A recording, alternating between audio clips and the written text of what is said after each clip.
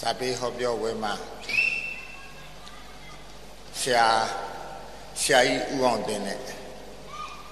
ပွဲတွေအများကြီးအတူတူဟောခဲ့ပုံမဲ့ဒီနေ့တော့နှစ်ဦးတည်းပထမဆုံးအကျိန်ကျွန်တော်အင်မတန်လေးစားတော့ဆရာကြီးနဲ့ပထမဆုံးအကျိန်အတူနှစ်ယောက်တည်းဟောပြောခွင့်ရတဲ့အတွက်ကျေးဇူးတင်ပါတယ်နောက်စောစောအမိတ်ရှိခဲ့တဲ့ ဆရာတော်ဆရာတော်ပွဲတော့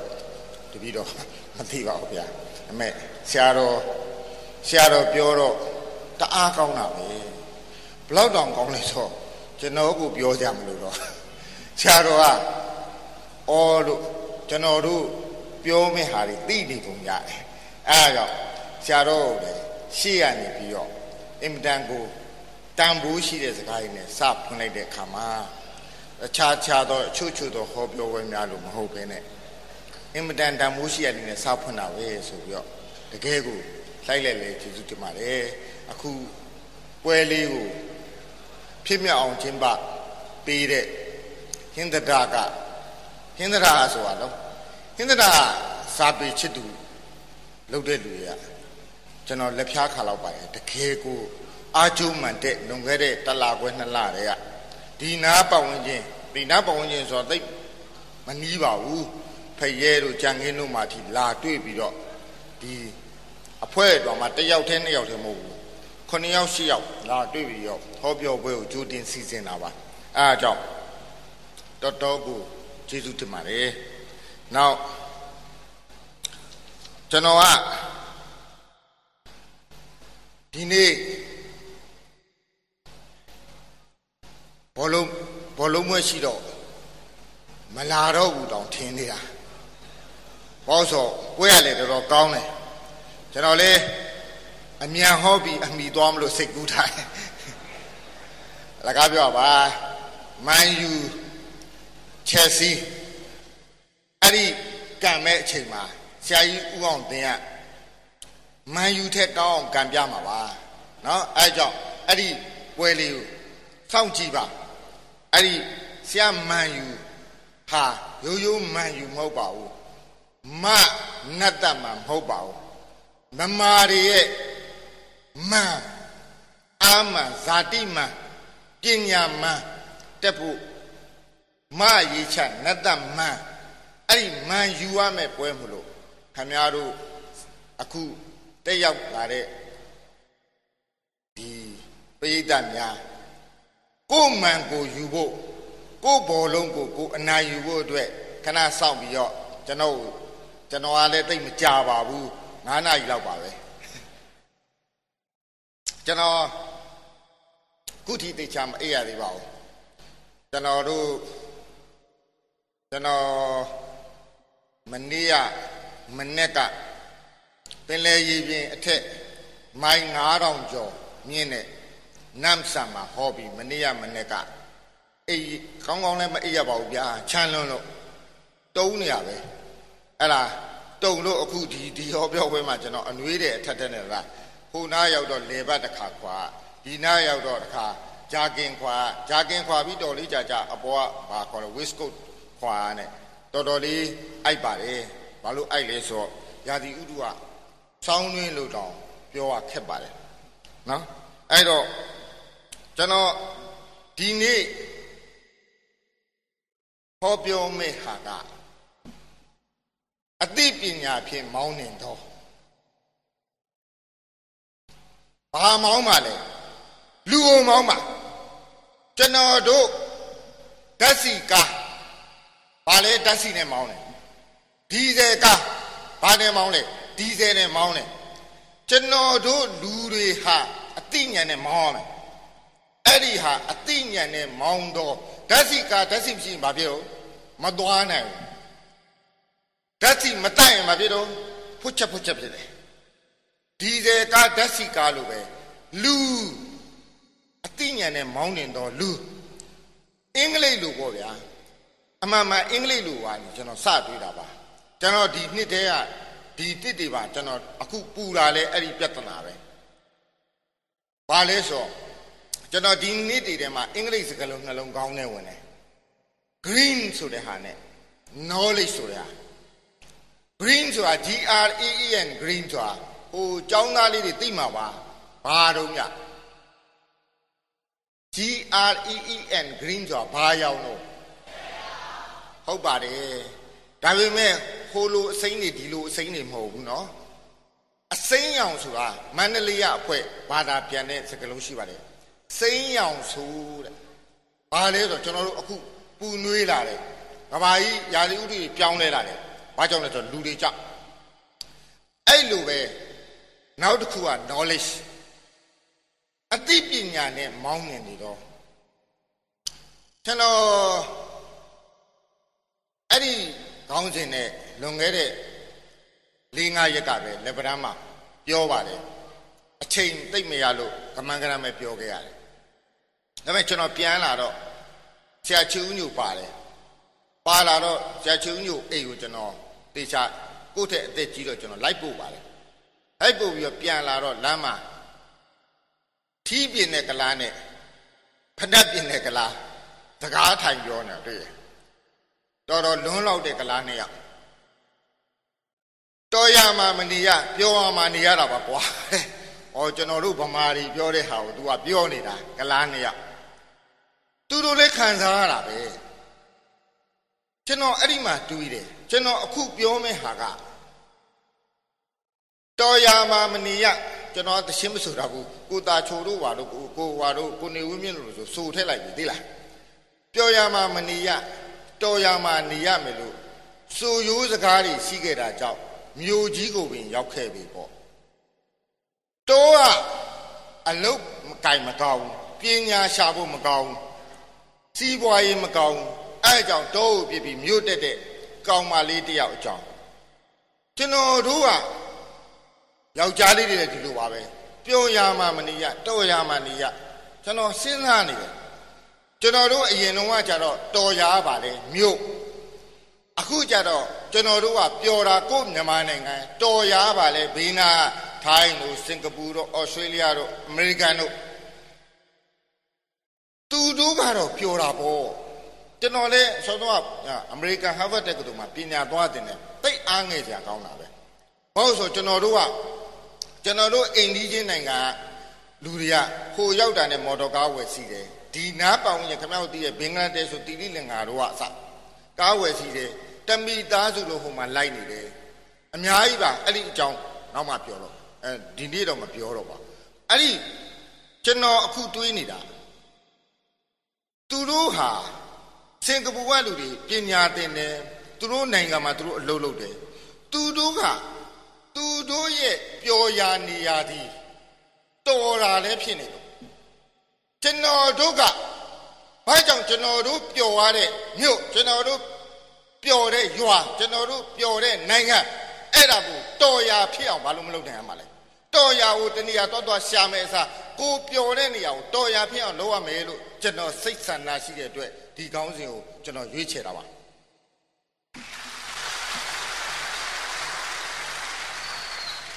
ကျွန်တော်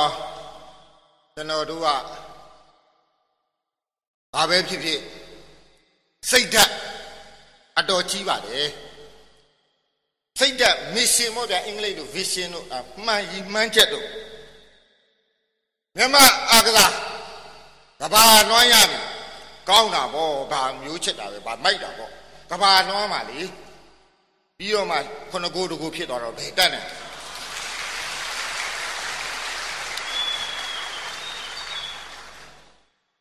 စိတ်ထဲမှာမျက်နှာတော်တော်ငယ်ပါတယ်ကျွန်တော်အဲ့နေရအားပေးတယ်ပထမဘိုင်းကြီးကျွန်တော်ဇာတိမှန်အပြည့်ပဲ ဒုတိယဘိုင်းကျကျွန်တော်မျက်နှာလေးဘယ်နာသွားထားမှမသိကျွန်တော်ကအခုဒီနေ့ပြောမှာကအဲ့ဒီလိုရီမန်းချက်ကိုတော်ယုံသိယုံထားပါဘာလို့လဲဆိုလက်နိုင်ချီနိုင်မိမိရီမှန်းချက်ကအမြင်ကြီးထားနိဗ္ဗာန်ရောက်ရမည်ငါးပါးတိလာတော့မလုံးသေးဘူးနော်အဲ့ဒါမျိုးကျွန်တော်တို့သွားလို့မရဘူး ဗမာပြည်ဟာကျွန်တော်နိုင်ငံနည်းနည်းပါးပါးရောက်ဘူးတာပါနိုင်ငံကဘာပေါ်မှာနိုင်ငံ200ကျော်မှကိုကလက်10 10ချောင်းပြလက်တစ်ဖက်စာလောက်ပဲရောက်ဖူးတာပါကျွန်တော်ဒါမဲ့ထူးကြပါတယ်ဆောင်ဖို့အများဆုံးနိုင်ငံပမာနိုင်ငံပဲ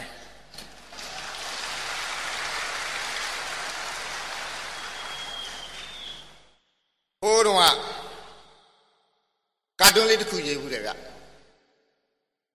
ကျွန်တော်တို့က ဆရာကြီးဦးအောင်တင်လို့ဆိုအတိဆုံးဗမာပြည်ကဟိုမနေ့ရတောင်ကျွန်တော်မိုးလေဝသဥထုံးလွင်နဲ့အတူတူဟောရသေးတယ်ဆရာဦးပြကျဲတဲ့ကျွန်တော်တို့ဗမာနိုင်ငံဟာဒီအရှိတောင်အာရှအာရှမှာမိုးလေဝသနဲ့ဇလဗေဒဦးစီးဌာနတွေပထမဆုံးဖွဲ့ခဲ့တာကျွန်တော်တို့ဗမာနိုင်ငံနဲ့ဟုတ်တယ်လွန်ခဲ့တဲ့နှစ်60အဲ့ဒီအ ချိန်ကဗမာပြည်ရဲ့တမရယုံကြီးကလည်းအရှိတောင်အချာမှာအကောင်းဆုံးဆရာဦးအောင်တင်တို့တင်ခဲ့တဲ့တက်ခဲ့တဲ့ရန်ကုန်တက္ကသိုလ်ကြီးကလည်းအရှိတောင်အချာမှာအကောင်းဆုံးအောင်ဆန်းဘောလုံးငွေကြီးကလည်းအရှိတောင်အချာမှာအကောင်းဆုံးမင်္ဂလာတုံလေရင်ကွင်းရလည်းအရှိတောင်အချာမှာအကြီးဆုံး ရန်ကုန်ပြည်သူစေုံကြီးကလည်းအရှိတောင်အချာမှာအကောင်းဆုံးရန်ကုန်မြို့တော်ကြီးကလည်းအရှိတောင်အချာမှာအတန်ရှင်းဆုံးနဲ့အကောင်းဆုံးပြောရမယ်ဆိုရင်ဆုံးတော်မဆုံးဒီနေ့ညအဲ့ဒါနဲ့မိုးလင်းသွားနိုင်တယ်အကောင်းဆုံးတွေတခုပဲရှိတယ်လွန်ခဲ့တဲ့နှစ်60လောက်ကအဲ့ဒီတော့ကျွန်တော်အဲ့ဒီတုန်းကပါအခုကိုပြောတာမဟုတ်ပါဘူးအခုကတော့ကြော်ရင်ကြော်သွားတော့ပါပြီเนาะကျွန်တော်ဟိုတုန်းကကာတွန်းလေးရေးခဲ့တယ် ကျွန်တော်အဲ့ချိန်တော့တာတွန်း6ခွက်ရေးတတ်တယ်ပထမဆုံးအခွက်ကကျွန်တော်တို့ဗမာကိုစားပြုနှာခေါင်းလုံးလုံးပေါ့ခင်ဗျာကျွန်တော်နှာခေါင်းလိုမျိုးနော်အိမ်ကြီးချင်းကနှာခေါင်းပြပြတို့နှာခေါင်းချွန်ချွန်တို့ပေါ့နော်အဲ့နောက်အဲ့ဒီလူကနောက်မှာပြေးဝဲကြီးကိုပြေးနေဟိုနှာခေါင်းချွန်ချွန်ကောင်နောက်မှာနှာခေါင်းလုံးလုံးကောင်ရှေ့ရနှာခေါင်းလုံးတော့ဗမာပေါ့ အဲ့ဒီကောင်ကဇက်တိုက်ပြောနေတာအဲ့ကတွန်းနေမှာနှာခေါင်းလုံးလုံးကပြောနေတာ तू ကရှေ့ရဆို तू များထက်ตายရမယ်ကွာဟုတ်တာပေါ့ तू ကရှေ့ရဟုတ်တော်လေးကြာကြာဟိုကောင်ဘေးရောက်သူ့ပခုံးဘေးရောက်ဟေးတဲ့မตายခြင်းနေပါစေတဲ့ရင်ပေါင်တန်းနိုင်ရမယ်ဟုတ်တယ်လေပခုံးချင်းရှင်းနေတာတော်လေးကြာကြာဟိုကောင်ကကြော်တက်သွားတဲ့လားကြော်တက်သွားလားဟေးတဲ့ ကြော်တဲ့ကြော်တက်ပါစေတဲ့တိတ်မပွာစရာဘူးတဲ့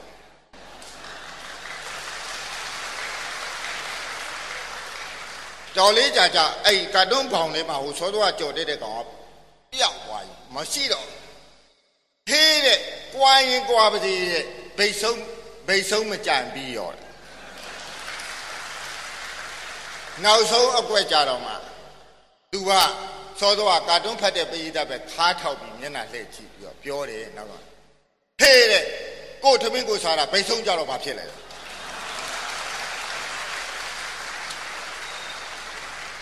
ဗိတ်ဆုံးကြရင်အရင်တော့ကတော့ဘာမှမဖြစ်ဘူးထင်ပါလိမ့်မယ်ဗိတ်ဆုံးကြရင်လေညီကြီးတဲ့ဝင်သွားတတ်တယ်ကျွန်တော်ပြောမယ်ဆယ်ဓာတ်တိုက်ပေါ်ကလိမ့်ကြတဲ့လူတယောက် အဲ့ဒီလိုပဲဘာမှမဖြစ်ဘူးထင်တာပဲဆယ်ဓာတ်တဲ့ပေါ်ကနေဇောက်ထိုးပြုတ်ကြပြုတ်ကြတော့ဗျာအောက်မှာတာမန်တလင်းပဲရှိတယ်အဲ့လိုနဲ့ပြုတ်ကြရင်ပြုတ်ကြရင်နဲ့ဆယ်ဓာတ်ကနေပြီးသူလေထဲမှာပေါ့နော်6ဓာတ်8ဓာတ်9ဓာတ်6ဓာတ်5ဓာတ်4ဓာတ်3ဓာတ်သူကတွေးတယ်နော်သောသောကရှေ့ရဆယ်ဓာတ်တိတ်ကပြုတ်ကြတာ ရှေ့ရရှစ်ထက်လုံးငါအခုထိဘာမှမဖြစ်သေးနောက်နှစ်ထပ်တော့ဘာမှမဖြစ်တော့ဘူးလို့ထင်တယ်နော်ဆယ်ဓာတ်အခုခမည်းတော်ကလည်းဘယ်နှစ်ထပ်ရောက်နေမှမသိဘူးလေအဲ့တော့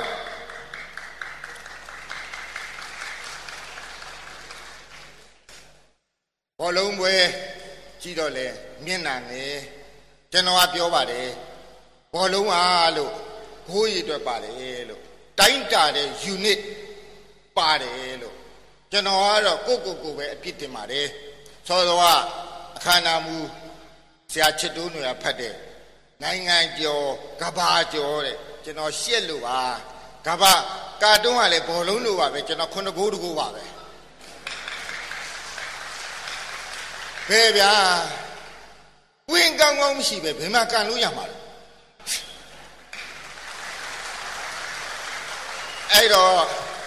ကျွန်တော်ခဏခဏပြောပါတယ်ဘောလုံးကတ်တွန်းလဲဘောလုံးလို့လုံးပြီးမှကန်လိုက်ရင်ကျွန်တော်လဲအဲ့လိုရှုံးပါလေလို့နော်ရုပ်ရှင်လဲအဲ့တိုင်းပါပဲစာပေလဲအဲ့တိုင်းပါပဲဆေးရုံကျမ်းမာရေးလဲအဲ့တိုင်းပါပဲကျန်တာတွေအကုန်ဘာကြောင့်ဒီလိုဖြစ်သွားလဲဆိုတော့အဲ့ဒီဘောလုံးလိုပါပဲဝင်းမရှိအဲ့တော့ကျွန်တော်ဗမာလူမျိုးတွေ မျက်နှာတိတ်နေရတယ်ဗမာတွေဟာကျွန်တော်ချောစောကပြောတယ် knowledge driving အသိပညာနဲ့မောင်းနှင်တော်ဆိုတဲ့စကလုံးကျွန်တော်တို့ကအသိပညာနဲ့မောင်းနှင်တဲ့ဘဝကိုကျွန်တော်တို့ဆုံးရှုံးနေရတာများနေပြီဟိုကျွန်တော်ရိုက်နေတဲ့ကင်မရာအဲ့ဒါ made in ဘာမှမဟုတ်ဘူး ဟာဒီမိုက်ခရိုဖုန်း made in ဘာမှမဟုတ်ဘူးဟာဒီမီးကြောင်တရုတ်ပြည်လာတာဟာဒီမီးဟာဒီကတ်ထားတဲ့ formica ဗမာပြည်မဟုတ်ဘူးနော်အသိပညာနဲ့လှုပ်သောပစ္စည်းတွေဗမာပြည်မှာမရှိတော့တော့ဖြစ်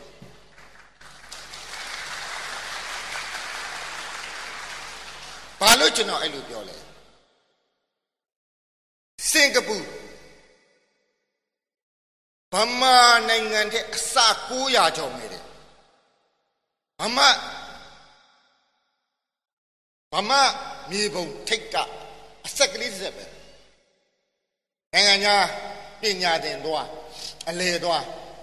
ဘယ်ရလဲမြန်မာပြည်ကဟမ်ကြားဘူးအော်နာမည်ပြောင်းတာမသိလို့နေမှာ B U I M A ဘာမာ ဘာမာဘာမာ from ဘာမာကြားဘူးတီးလေးလင်ကအာတီးတီးလာအိုတီးတယ်ဗီယက်နမ်တီးတယ်ကမ္ဘောဒီးယားတီးတယ်ကိုငါနိုင်ငံအကုန်သိတယ်ဗျာမြန်မာပြည်ဘယ်လောက်ဆိုးလဲဆိုသိလားမြန်မာအရှိတောင်အာရှမှာကုန်းတစ်ဆက်တစ်ဆက်တည်းကမြန်မာနိုင်ငံအကြီးဆုံး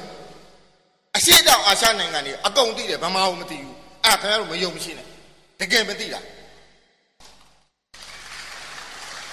ကျွန်တော်တို့အင်ဒိုနီးရှားကကျွန်တော်တို့တဲ့ကြီးရဲဆိုတာကျွန်းလေးတွေပေါင်းလို့ကြီးတာကုန်းတစ်ဆက်တစ်ဆက်ကဗမာပြည်အကြီးဆုံးအဲ့ဒီကျွန်တော်တို့ထက်အစ900ကျော်ငယ်တဲ့စင်ကာပူနိုင်ငံသိတယ်အဲ့ဒီစင်ကာပူကစောစောကလွန်ခဲ့တဲ့နှစ်ပေါင်း60 ငါတို့ဟာဗမာပြည်ကိုမှီရမယ်လို့စောစောကသူများတဲ့တာရမယ်လို့ပြောတဲ့အချိန်မှာသူတို့ကနောက်ကနေပြီးဟေးရှေ့ကဗမာကြီးငါတို့မှီအောင်လိုက်မယ်လို့အဲ့ဒီလွန်ခဲ့တဲ့နှစ်60ကမှန်းခဲ့တဲ့ဒီမှန်းခဲ့တဲ့နိုင်ငံပေါဆနာလေးသေးသေးလေးဒါပေမဲ့သူတို့ဟာရေးတောင်မထက်ဘူးသူတို့နိုင်ငံသဲတောင်ကျွန်တော်တို့စီကဝယ်ရသေးရဲ့ တကယ်သဲပါဝယ်ပြီးသူတို့စီမှာဖို့တယ်ဗမာပြည်ကသဲဗီယက်နမ်ကသဲဗီယက်နမ်ကသဲသဲချင်းရောင်းတာတော့ဗမာအတက်ပညာအာနေတော့ဈေးနှစ်ဆနေရတယ်ကျွန်တော်သိတယ်သဲချင်းကအတူတူဒီပင်လေတွေကသဲပဲအဲ့ဒီသဲတွေရောင်းလိုက်လို့ဝင်းတော့ตาကြကောင်းပါလေနောက်ကြမှာကျွန်တော်တို့မြစ်တွေပင်လေတွေဒုက္ခနဲ့နဲ့ရောက်မှာဒါမဲ့ဝင်းတာပါနော်အဲ့တော့အဲ့ဒီစ င်ကာပူလိုနိုင်ငံတည်တည်လေးရဘာကျွန်တော်တို့ဗမာလိုတမိုင်းမရှိဘူးဘာတမိုင်းမှမရှိဘူးဘာသာစကားမရှိဘူးအင်္ဂလိပ်စာကိုဟိုဟာသူ့စကားအနေနဲ့လောက်ထားရတယ်ယဉ်ကျေးမှုကိုယ်ပိုင်ယဉ်ကျေးမှုကိုယ်ပိုင်တမိုင်းမရှိဘူးသူတို့စီမှာရှိပါတယ်ကျွန်တော်တို့လိုပကံဖျားတွေအင်မတန်သမိုင်းအထောက်ထားခိုင်ပါတဲ့ပကံဖျားမရှိဘူး ရွှေတကုံဖျားမရှိဘူးကြိုက်သေးလိုဟာမျိုးမရှိဘူးเนาะကျွန်တော်တို့မှာကသမိုင်းရှိတယ်ဘာသာစကားရှိအဲ့ဒီတော့ကျွန်တော်တို့ကအခုစင်ကာပူမှာသွားပြီးတော့စောစောကပြောတဲ့ပညာဆိုတဲ့ကိစ္စကျွန်တော်တို့ရဲ့ဆရာကြီးသူစီသွားတင်ရတယ်ငါသားလေးသမီးလေးစင်ကာပူများပညာသွားတင်ရစီဟင်္ဒရာမျိုးကတော့ရှိလားမသိဘူးလက်မထောင်းနေရတာ ကျမသားကစင်ကာပူမှာကျုပ်သားစင်ကာပူမှာကျုပ်သမီးကစင်ကာပူမှာဒုတိယနှစ်တတိယနှစ်အဲ့လိုပြောနေရတာအဲ့ဒီလွန်ခဲ့တဲ့နှစ်ပေါင်း60လောက်ကရန်ကုန်တက္ကသိုလ်တက်ဖူးခြင်းတဲ့ကောင်နေလေဟိုဘက်ကအဲ့ဒီလိုနိုင်ငံကအခုပညာမှာထိတ်ရောက်ကျွန်တော်ပြောပါမယ်ခံမြသူတို့ရဲ့ရှင်သေးနဲ့ငားနဲ့ပေါင်းထားတဲ့အယုတ်ကြီးဘာသမိုင်းမှမရှိပုံပြင်ပဲရှိတာပုံပြင်အစ်စ်မရှိတာ အဲ့ပုံပြင်ကိုသူတို့ကအထွတ်အမြတ်ထားလို့ရတာကျွန်တော်တို့ကသမိုင်းရှိတာသူတို့ကပုံပြင်ပဲရှိတာအဲ့ဒီလိုနိုင်ငံကလှုပ်ထားတဲ့ပစ္စည်းထုတ်လုပ်တဲ့ပစ္စည်းခံမြအထင်မသေးနဲ့ဘာမှကျွန်တော်တို့လိုရေးတောင်ဝယ်တော့တဲ့နိုင်ငံဒါပေမဲ့ခမရဗမာပြည်မှာတညကို2000ပေးပြီးတော့ဟိုတယ်မှာတည်းရန်ကုန်မှာသွားတယ် ဟိုမှာဗမာငွေ2000တန်တဲ့ဟိုတယ်တဲ့ဟိုကဝန်ဆောင်မှုကိုကောင်းတယ်ဗမာပြည်မှာခမရသိန်း100ခုကပြီးတော့ဆေးကုဟိုမှာသိန်း100ဆေးကုဟိုကပညာပိုကောင်းတယ်ဗမာပြည်မှာသိန်း100အကုန်ကပြီးပညာသင်ဟိုမှာသိန်း100အကုန်ကပြီးပညာဟိုကပိုကောင်းတယ်ဘာလို့ဆိုတော့သူတို့ဟာပညာဖြစ်ဖွဲ့စည်းထားတော့လူအဖွဲ့စည်းဖြစ်နေပြီခမရပညာနဲ့လကားဟာတွေပါငါတို့စီကရေတွေနဲ့ အော်အေးရေဆိုလို့ရေလေးတစ်ခွက်လားဟာရည်တန်ဘူးကအရင်တရားရှိဟာဒီထဲကရေကငါးချက်ပဲရှိကျန်တာပညာတွေ65ချက်ပို့ရှိတယ်ခမရတို့အဲ့ကြောင့်ကျွန်တော်ပြောတာကဘာပေါ်မှာအချမ်းသာဆုံး10ယောက်မှာ1990လွန်ခဲ့တဲ့နှစ်20ရာအချမ်းသာဆုံး10 10ယောက်မှာ9ယောက်ကတဘာဝတရားဇာတာတွေရောင်းစားတဲ့ဒီချမ်းသာတာ 2000ခုနှစ်ရောက်သွားတော့ဘလောက်ပြောင်းသွားလဲဆိုတော့အချမ်းသာဆုံး10ယောက်မှာတယောက်ပဲတဘာဝတရားဇာတာရောင်းစားပြီးချမ်းသာတယ်တယောက်ပဲပါတော့ကျန်တဲ့9ယောက်ကပညာရောင်းစားတာအခုနောက်10နှစ်2010တွက်တာကြည့်ပြီးတော့ဟာဒီရေခမရတို့စီရရေဖြစ်ရင်ဖြစ်မယ်ဒါပေမဲ့ဟာဒီရေရဟုတ်ပါတယ်ဗမာပြည်ကရေထုတ်ထားတာပါဒါငါးချက်ဖို့ပဲပါလား ခမရတို့ငါးချက်ပဲရမယ်ကျန်တဲ့65ချက်ကဟိုပလတ်စတစ်ကဘယ်ရလာလဲတရုတ်ပြည်ရလာတယ်ဒီအပတ်ကလေးကဘယ်ရလာလဲဟိုထိုင်းရလာတယ်ဒီဖုံးလေးကဘယ်ရလာလဲဟိုဘင်္ဂလားဒေ့ရှ်ကလာတယ်အဲ့လိုလာလာတာအဲ့ဒီလုတ်တဲ့ဆက်တွေရောဘယ်ရလာလဲမှတ်လို့လဲဗမာပြည်ကမိတ်တင်ဗမာဆိုတာဆိုင်းပုတ်ပြပဲရှိတယ်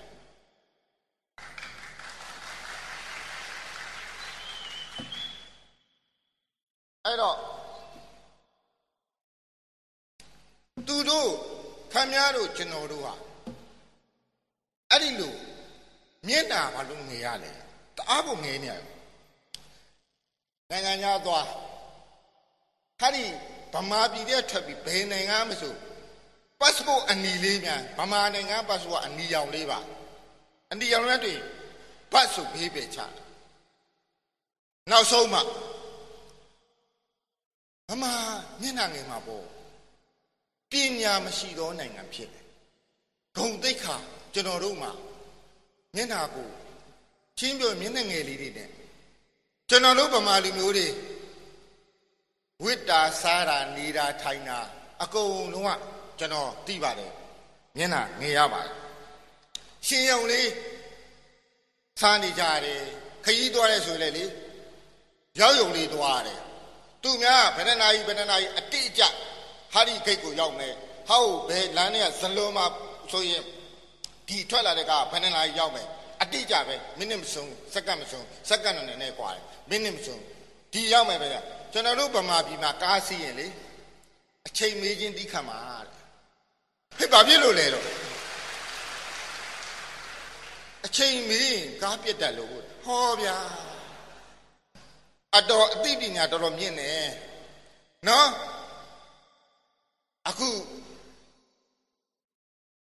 ပြည်တော်လမ်းမကြီး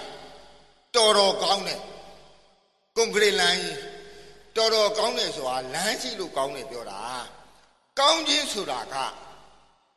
ကောင်းခြင်းရဲ့လက္ခဏာတွေရှိရတယ်ဒီကွန်ကရစ်လမ်းဘိန်းပေါက်တွေပါလေတတ်တတ်ထားအောင်အဲ့ဒီကွန်ကရစ်လမ်းမှာတည်လိုက်ကြတာမိသားစုလိုက်မိသားစုလိုက်တော်တော်တနာဖို့ကောင်းတယ်တနာဖို့ကောင်းဆိုကျွန်တော်တကယ်တနာလားဘယ်လူဘယ်လူကြီးတာသမီပဲဖြစ်ဖြစ်ကျွန်တော်တကယ်တနာတယ်အလဟတ်တကျွန်တော်တို့ခံလိုက်ရတာ သူများနိုင်ငံမှာဒီလမ်းကဟာဒီလောက် speed high လောက်အမြန်နှုန်းနဲ့ဆိုဘလောက်ဆောင်းရမယ်ကွာအဆောင်းစွာကျွန်တော်တို့အဲ့ဒီဘာတရားကိုတဘာသာဝကိုအဲ့ဒါကိုတစ်နှစ်တင်ရတယ်အဲ့ဒီလမ်းဆောင်းတဲ့ဘာတရားကလေးလမ်းကဘသူကန်ထရိုက်ပေးထားလဲမသိဘူးအလောက်အမြန်မြန်မဆောင်ဘူးအပြားလိုက်ကြည့်နော်အဲ့ဒီမော်တော်ကားတွေဒါလောက်စပင်းနဲ့မောင်းတဲ့မော်တော်ကားတွေကျွန်တော်သတင်းစာထဲမှာဖမ်းမိပါတယ် တိုယိုတာကုမ္ပဏီကသူတို့ရဲ့ဗရိတ်စနစ်မသေးကြတဲ့အတွက်မော်တော်ကားအစီးတသိန်းပြန်သိမ်းပြန်သိမ်းဆိုခင်ဗျားတို့ဝယ်ပြီးသားကားကိုပြန်သိမ်းပြီးအစ်စ်နဲ့ပြန်လဲပေးပါနော်ကျွန်တော်တို့ကတော့ဟိုဟွာပေါ့ဗျာလီလန်းရတဲ့ကားတို့ဘာတို့ ਨੇ တခါတလေဘိန်းကဂျပန်အင်ဂျင်ကတရုတ်ဟိုထိုင်ကောင်ကကြာဂျာမနီအဲ့လိုမျိုးသွားတာမောကျွန်တော်တို့ကဟိုမှာကဘာလို့လဲ ကားမောင်းရင်လမ်းဆောင်ရင်အသိပညာလည်းဆောက်တယ်ကားဝယ်စီရင်အသိပညာရှိဥဆောင်ဝင်ရှိတယ်အသိပညာရှိတော့ဒီကားတွေဒီအတက်နိုင်ဆုံးမမောက်အောင်လုပ်ထားတဲ့ကားအတက်နိုင်ဆုံးဘိမပေါက်အောင်လုပ်ထားတဲ့ကားဘရစ်စတုံးလားပါမသိသူရှိတဲ့မြထုတ်တဲ့မြတရားတွေကအဲ့လိုပေါက်တတ်တဲ့ခြုံရင်ချက်ရှိနေလို့တဲ့ဆိုပြီးတော့ဟိုကအကုန်ပြန်သိမ်းတာကျွန်တော်ပြုတ်ပြမယ် ဟက်စင်မီဆိုတာလေကျွန်တော်တို့ကထင်ထားတယ်သိလားပြက်တတ်တဲ့အရာလို့ထင်ထားတယ်ဟုတ်တော့ပြက်နေကြဘူးအာမဟုတ်ဘူးမိဆိုတာအဲ့လိုပြက်ရတဲ့အရာမဟုတ်ဘူးကောင်းကောင်းစနစ်တကျလုပ်ထိုင်းရင်မီးပြက်တယ်ဆိုတာမရှိဘူးအခုကကျွန်တော်လည်းပြောပါတယ်အာမီးပြက်တာမဟုတ်ဘူးလို့မီးဖြတ်တာလို့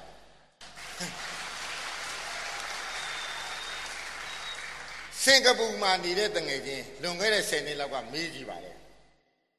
မင်းတို့စီမီးပြက်လာကွာမင်းသူနေရအခုဆိုရင်20ကျော်ပါပြီလွန်ခဲ့တဲ့15နှစ်ကမင်း15နှစ်သူကြာတော့ तू စဉ်းစားနေတာမီးပြက်လာလို့ခင်ဗျားတို့မင်းခင်ဗျားတို့ဘယ်လိုဖြေမလဲတိတ်စဉ်းစားရလားဟိုလူမှလေမေးစီလေးပို့ပြီးဟိုလူလေးကုန်ပြီးစဉ်းစားပြီးသီလားတခါပြက်ဘူးတယ်မလီတော်တော်စဉ်းစားယူတာ15နှစ်တွင်တခါပြက်ဘူးတယ်ဘယ်လိုလို့ဆိုတော့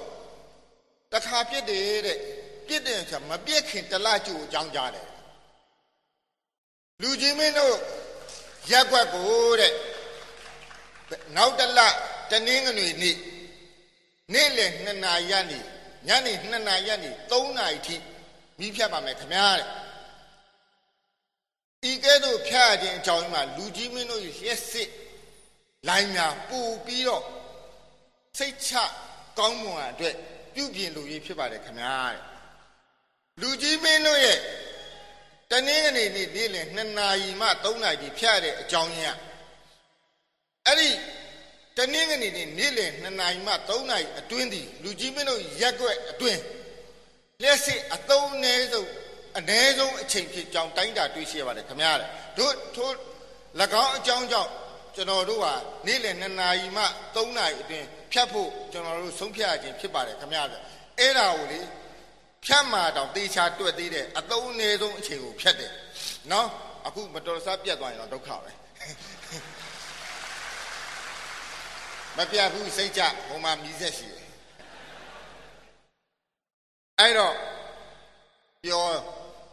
तू ကအဲ့ဒါဟူတဲ့ကျွန်တော်တို့နိုင်ငံခြားမှာကျတော့စာတွေကအများကြီးတော့စာအောက်မှာအမှိုက်ပုံးရှိရဲ့မဖတ်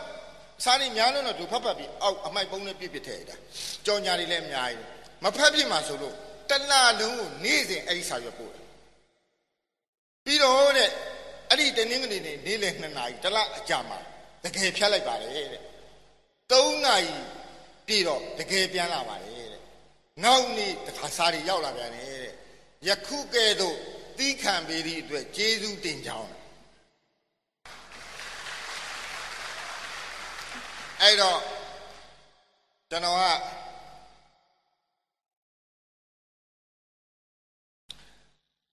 အဲ့ဒီလိုညံနဲ့ကျက်စစ်ဆိုတာလေပြည့်ရတဲ့အရာမဟုတ်ပါဘူးเนาะခင်ဗျားတို့ဟင်းသရဟိုးခစ်ကမီးလာတာတော့ဘယ်လောက်ကြာပြီလဲမသိဘူးထားပါတော့လေဟိုးဟိုးခစ်တည်းကနေမှာပေါ့အေးထားပါတော့ကျွန်တော်တို့ကဗမာတွေကကံကိုပုံချတယ် ကျွန်တော်မဟုတ်ဘူးကဲအသက်ကံဆောင်လားအသက်ညံဆောင်လားအသက်ကိုညံဆောင်ပါလေညံဆိုတာအသိပညာပါနော်ကျွန်တော်တို့ကတခါတလေစောသွားလို့ဟိုတမိသားစုလို့ဟိုရင်နှစ်ပတ်လောက်ကပဲမိသားစု၄ဦးလုံးတည်သွားတယ်။ဘာလဲဥပိ္ပစေတာကံပါတယ်တဲ့အေးကံလဲကွာလို့ဗမာကြမှာပဲဥပ္ပစေလုံးလို့ကျွန်တော်ပြောလိုက်တယ်ဘာလို့ဆိုဉာဏ်ရှိရင်အဲ့ဒီလူဟာတွေ ကျွန်တော်ဘာတပည့်တော်ဘာသာရေးတရားနဲ့နဲ့လွှဲချုံရင်ခွန်းလို့ပါတပည့်တော်ဆိုလို့ကျင်တာကံမဟုတ်ဘူးတချို့ဟာတွေကဉာဏ်ကိစ္စတွေပါ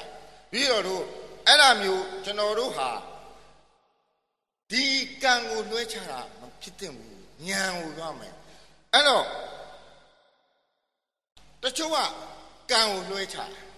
ချို့ကဆိုင်ကယ်အုပ်ထုပ်မဆောင်ဗျာပြုတ်ကြသိတယ်ဥမလေး ဆိုင်ကယ်ဆိုတာနှစ်ဘိန်းနဲ့ဗျာလင်းနိုင်တာပေါ့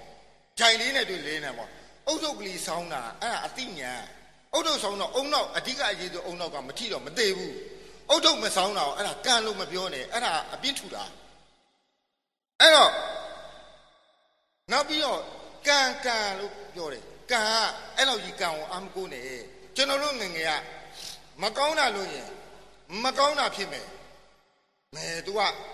အဲ့လိုထင်တာ မကောင်းတာလို့ရင်မကောင်းတာလို့ရင်မိုးချိုးပြစ်မယ်မဲအဲ့လိုထင်တာအမေများအဲ့လိုပါခဲ့တာဟုတ်ငါသားမကောင်းတာမလုပ်နဲ့နော်မိုးချိုးပြစ်ခါမယ်ဆိုကြောက်တာပေါ့ကြောက်တော့ဒါမဲ့နောက်ကြီးလာတော့ကျွန်တော်မကောင်းတာလုပ်တဲ့လူတွေအများကြီးတွေ့ဘူးလေသိလားပြစ်လည်းမပြစ်ဘူး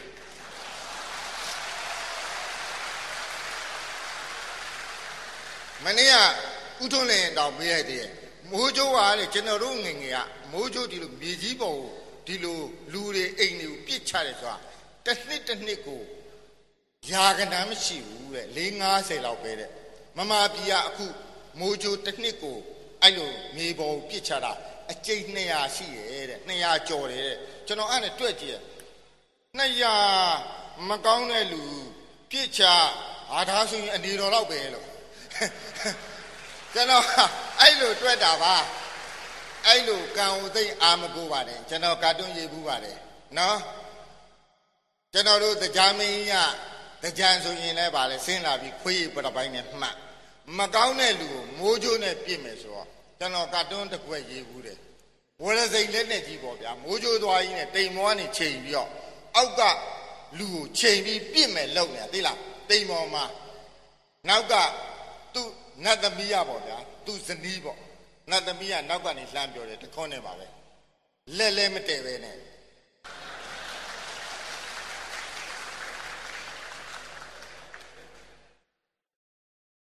အဲ့တော့ကျွန်တော်တို့ကမနစ်ကသွားတော့လေခမည်းတော်အချိန်မှာကျွန်တော်သိပါတယ်မမေးတော့ပါဘူးစောင်းစီကခဲပါတယ်စောင်းင်းဆို ကျွန်တော်မလေးရှားပို့တဲ့ဆောင်းစီတွေပါမလေးရှားစားသုံးသူများအခွင့်အရေးတင်နှောင်းကျွန်တော်မနှစ်ကသွားတက်တော့ဆောင်းစီခင်ဗျားတို့စီကဆောင်းစီဘာလို့ခဲရလဲလို့ရိုးရိုးတနအပြစ်မှာတော့ခဲရင်ဘိုက်ထဲမှာဘလောက်တောင်ဆိုးမလဲဆိုမခဲပါဘူးတဲ့ခဲတယ်မခဲဘူးတဲ့ညင်းတာအဲ့မလေးရှားကလားနဲ့ဟုတ်တယ်တကယ်တော့မခဲဘူး ခဲတာတွေကစောင်းစီမဟုတ်ဘူးတဲ့ကျွန်တော်တို့ကအုံးစီမှာအစစ်စစ်တော့ grade တွေရှိရဲ့အဲ့ဒီခဲတဲ့အစင်ကလူစားတဲ့အစင်မဟုတ်ဘူးတဲ့ဩတနာစီရတနာစီရလို့ကိုကိုကိုကျွန်တော်တို့ကအသိဉာဏ်ရှိကြပါအဲ့ဒီစီလျှော့ဆိုင်ရင်ပူချမ်းမှာပါလေ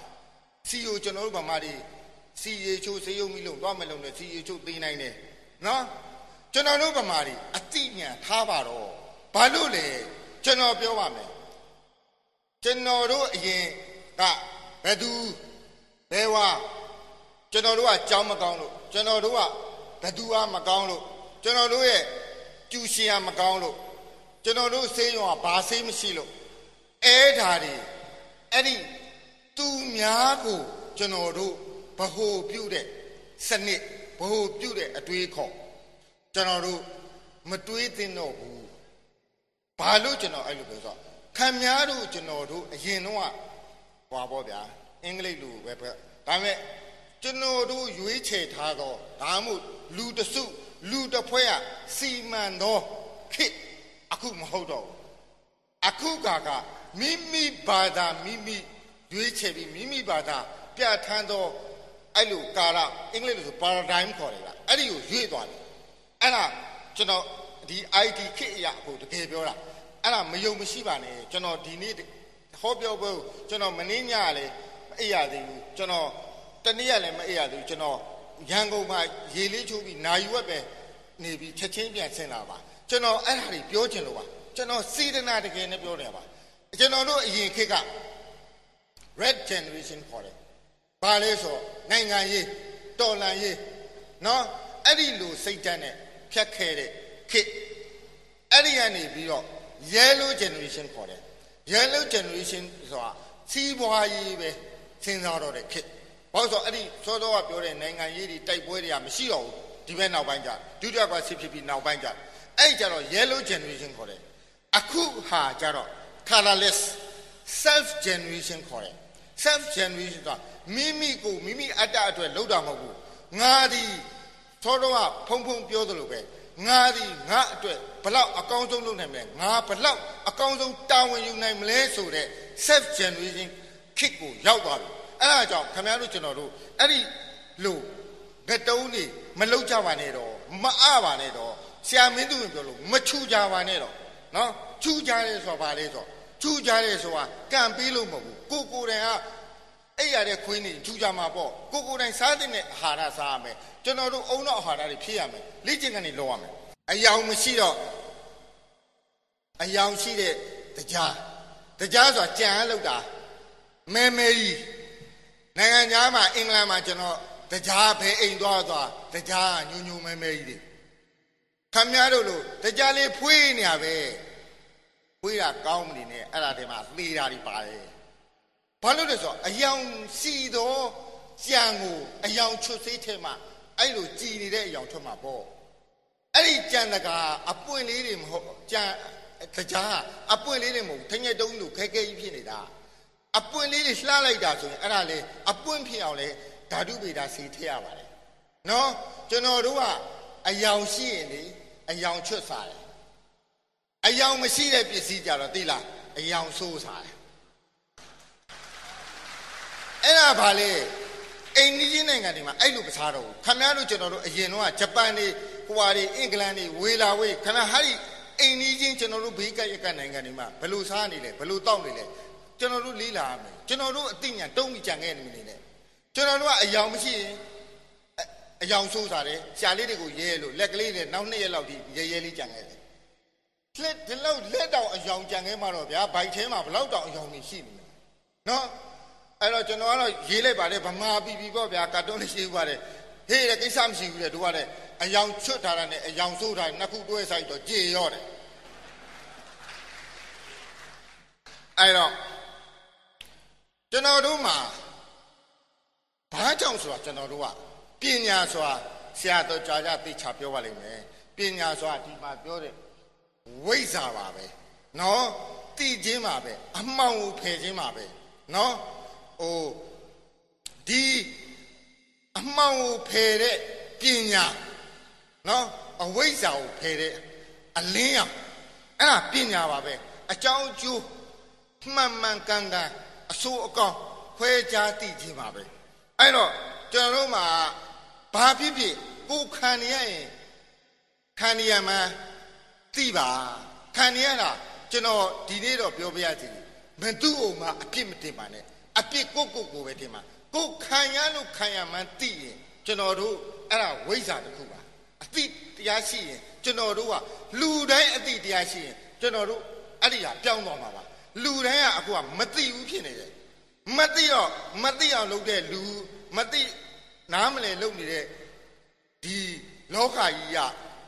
တန်နေရရှင်းနေအောင်ပါပဲကျွန်တော်တို့မှာတယ်လီဖုန်းဆိုရင်လည်းသိလားခင်ဗျားတို့အခုတယ်လီဖုန်းတယ်လီဖုန်းတစ်လုံးဟာအခု9သိန်း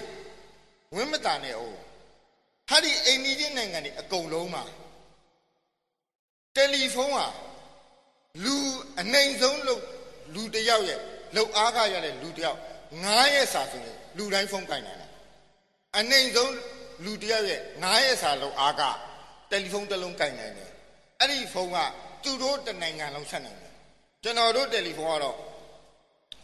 ဖုန်းလေးရခမရပါလေ CTM ပေးလား WCTM ပေးလား450လား800လားကတ်ဖုံးလားဟာခင်ဗျအများကြီးပဲဟိုဒီဒီဖုံးလေးကဟိုဝါနေလာရင်ဇလွန်နာကြမမီဘူးနော်ဟိုဒီနာကြပြန်မိပြီဟိုဒီနာကြရင်တော့အဲ့ဒီဖုံးကမရတော့ဘူး GSM မမီ ဗမာပြည်ကဖုံးကလေအများဆုံးပဲကျွန်တော်အခုရွတ်မပြနိုင်ဘူး15မျိုးလောက်ရှိတယ်ပြီးရင်ဘယ်မျိုးကြရင်ဘယ်ဖုံးမှာဘယ်မျိုးကြအဲ့ဘ ഹു တုတလည်းတော်တော်လိုသေးတယ်ကျွန်တော်အဲ့လိုဘ ഹു တုတမျိုးတော့ကျွန်တော်တို့ကတော်တော်ရှိပါတယ်ကျွန်တော်ဟိုဟိုတော့ကတော့ကာတွန်းရေးဘူးသေးတယ်ဒီမှာတော့ပါမလားလို့ဘာလဲဆိုကျွန်တော်တို့ဗမာလူမျိုးများဘ ഹു တုတများလိုက်တာများ နိုင်ငံညာလူတယောက်ကို तू ကပြောနေတာနိုင်ငံခြားသားနဲ့ကတိုင်ကြီးနဲ့ဟာဟာဟာတဲ့ဘ ഹു တုတလည်းမရှိဘူးတဲ့ကျွန်တော်တို့ကတော်တော်ရှိတာဗျသိလားအဲ့ဒီနိုင်ငံခြားသား transformer လည်းမသိဘူးတဲ့ဟုတ်တယ်သူတို့အိမ်ဒီမှာ transformer မရှိဘူးမိအားမကြတော့ inverter လည်းမရှိ inverter လည်းမသိဘူးတဲ့ inverter ဆိုတာဘာလဲ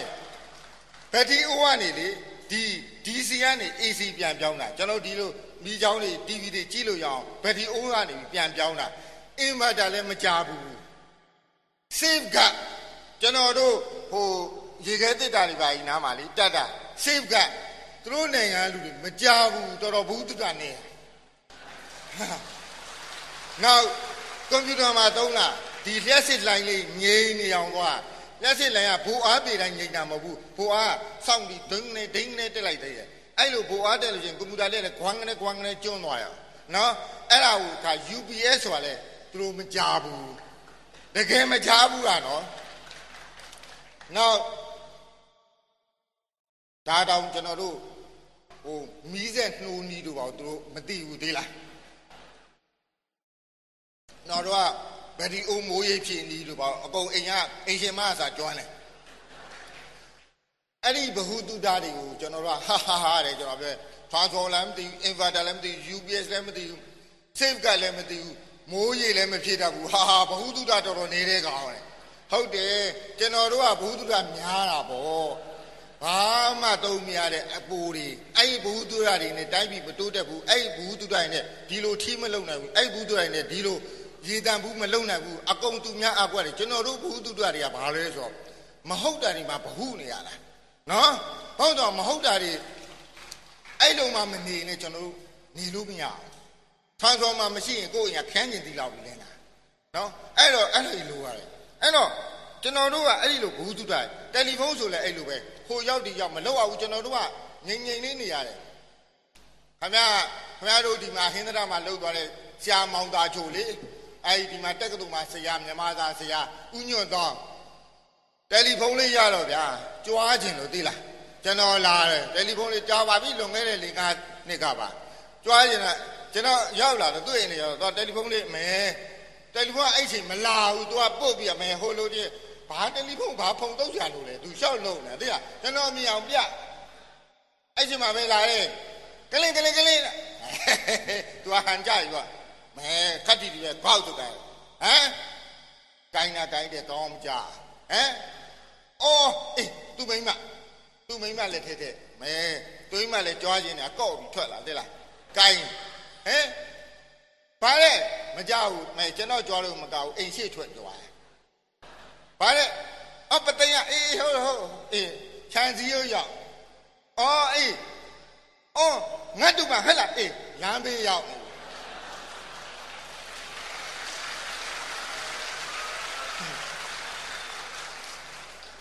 လမ်းလေကောင်ကြီးရောက်သွားတော့ပါဟင်ဒီကောင်မလင်းလောက်လိုက်သွားတယ်ဟုတ်လားအေးဘသူမှမသိစိမ့်နဲ့တို့ချွေမျိုးမျက်နှာဓာတ်နဲ့လီးရဘသူမှမသိစိမ့်နဲ့လမ်းလေကောင်မှာအောနေ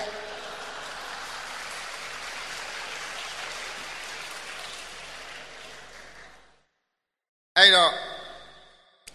ကျွန်တော်တို့ကကံကိုလွှဲတဲ့မချပါနဲ့ကျွန်တော်တို့ဗမာတတဟာကျွန်တော်အထင်တော့ဝါဒနာများကိန်းကန်းဝါဒနာပါတဲ့လူရှိရင် ကြားကြရမြဟင်းသရတည်တဲ့လူစီရင်မှတ်ထားပါဘသူတည်တည်ကားတိုက်လို့တည်တည်ဆိုင်ကယ်မောက်လို့တည်တည်အိုလို့တည်တည်နာလို့တည်တည်ကင်ဆာကြောင့်တည်တည် AIDS ကြောင့်တည်တည်မယုံရင်မှတ်ထားပါမှတ်ထားပြီးအဲ့ဒီလူအားလုံးတလလောက်မှတ်ထားအဲ့ဒီလူရဲ့အသက်တွေကိုအကုန်ပေါင်းပြီးရင်အဲ့ဒီလူကြီးနဲ့ဆိုင်ရင်ဟဟင်းသဒရဲ့ပြန်မြအသက်သိပါတယ်ကျွန်တော်အထင်ကမြန်မာပြည်ရဲ့ပြန်မြအသက်က55လောက်ပဲထင်ပါတယ် ဆရာဦးအောင်ဒီ80ကျော်နေတယ်ဦးအောင်တင်တို့ဗမာအသက်ဆရာကြီးကြီးပါလားဆိုဟုတ်တယ်ဆရာကြီး88ရှိတော့မှဟိုမှာ17နှစ်သားဂိမ်းနေပြီနော်ပြန်မြအသက်ကိုကျွန်တော်ပြောတာနော်အဲ့တော့ကျွန်တော်တို့သိတဲ့လူတွေရဲ့ကျွန်တော်တို့ဗမာတွေတက်တန်းအိန္ဒိယနိုင်ငံစင်ကာပူလောက်တက်ကိုအသက်အသက်20လောက်တိုးနေတယ်အသက်20ကိုမပြောနဲ့အသက်20တိုးရဆိုတာမိမိချစ်တော်သူများနဲ့အသက်20ကြိုခွဲရခြင်း တခါလေတရက်တောင်မခွဲနိုင်တဲ့လူတွေတပတ်တောင်မခွဲနိုင်လူအနှစ်20တွေကြိုခွဲတဲ့နေပုံထိုင်ပုံကြင့်ပုံကြံပုံကျွန်တော်လုပ်နေကြတယ်နော်ကျွန်တော်တို့ကအဲ့ဒီတက်တန်းတူခြင်းဒီစင်ရဲ့ခြင်းစင်ရဲ့ခြင်းဒီပညာနယ်ခြင်းကြောင့်ဖြစ်တာကျွန်တော်တခါတော့ကဇင်ဘုံကြီးဇင်ပုံပြင်တစ်ခုဖတ်ဖူးတယ်။အားလဲဆိုကျွန်တော်အိမ်မှာတဲ့မင်္ဂလာရှိတဲ့ စာတန်းခင်ဗျားတို့အိမ်မှာဟိုနီနီကြီးတွေနဲ့စာတန်းတွေတစ်ခါလေးချိတ်ချိတ်ထားတယ်လေ။ကိုယ်အိမ်မှာဟိုဗာလဲဟိုယနေ့အကျွေးမပေးပါပဲဖြစ်ဖြစ်ပါဖြစ်ဖြစ်ပေါ့ဗျာ။နော်ဟိုတင်ကောင်းနေကျွန်တော်မဆိုးပါတော့ပါတော့အဲ့လိုစာတန်းတော့ကျွန်တော်အိမ်မှာမင်္ဂလာရှိတဲ့စာတန်းဒီကတ်ချင်လို့အမတန်တော်တဲ့ပကြီးဆရာကြီးစီတွားတယ်ဆရာကြီးရဲ့မင်္ဂလာရှိတဲ့စာတန်းလေးတစ်ခုဆိုင်းပုတ်ကလေးရေးပေးပါဆရာကြီးကရေးပေးလိုက်တယ်သိလား အပေါ်ဆုံးစာကြောင်းကသိလားအဖိုးသိမ့်ပြီတဲ့ဒုတိယစာတန်းကပါလဲဆိုတော့အဖေသိမ့်ပြီတဲ့နောက်တတိယစာတန်းကသားသိမ့်ပြီတဲ့အောက်ဆုံးစာကြောင်းကမြီးသိမ့်ပြီတဲ့မင်္ဂလာရှိတဲ့စာတန်းဆရာကြီးကျွန်တော်ရေးခိုင်းတော့ကျွန်တော်တို့ဟိုအဖိုးသိမ့်ပြီတားသိမ့်ပြီဘာလို့ဒီလိုစာတိုင်းဘာလို့ဘလောက်တောင်ချက်တည်တုံးလဲဒေါသဖြစ်တာပေါ့အဲ့တော့မှပကြီးဆဲရဲ့ရှင်းပြတယ် အပေါ်ဆုံးကဘာလဲအဖိုးသိမ့်ပြီပြီးတော့မှဘာလဲအဖေသိမ့်ပြီအဖေသိမ့်ပြီးမှဘာလို့ပဲတားသိမ့်ပြီတားသိမ့်ပြီးမှမြီးသိမ့်ပြီအဲ့ဒီလိုသူ့ရဲ့တက်တန်းပြည့်နေနေပြီးမှသေသွားတဲ့ဘဝသေသွားတဲ့မိသားစုဆိုတာဘလောက်ကြက်တည်ရှိလဲတဲ့အဲ့ဒါကြက်တည်ရှိဆုံးစာတန်းတယ်ဟုတ်တယ်ကျွန်တော်တို့ကအဖိုးမသေးသေးဘူးပြီးသေးနေပြီဒါလေနော်ဆိုင်ကယ်မောက်လို့ဘာလို့လဲအုတ်ထုတ်လည်းမစားဘူး စပိတ်နဲ့ဘီယာလေးကတောက်ထားသေးတတိထားမှပေါ့ကျွန်တော်ကသေအောင်မတောက်နဲ့ခဏခဏပြောသေအောင်မလုပ်ကြနဲ့သေတာသိတ်လို့တယ်ရှင်မိုးခက်တာရှင်မိုးကညံလို့တယ်အသက်ညံဆောင်ညံလို့တယ်ပညာလို့တယ်အသိတရားလို့တယ်တတိလို့တယ်နော်အဲ့တော့ကျွန်တော်တို့အခုဟာအဲ့ဒါဘသူတတ်တာတော့ကိုယ့်ဘာသာကိုတတ်တာကျွန်တော်တို့သူများလှုပ်လှုပ်ချနေတော့ချင်းမိုင်မှာထိုင်းမလေးနဲ့တွေ့တယ် သူတို့စီမှာဗျာ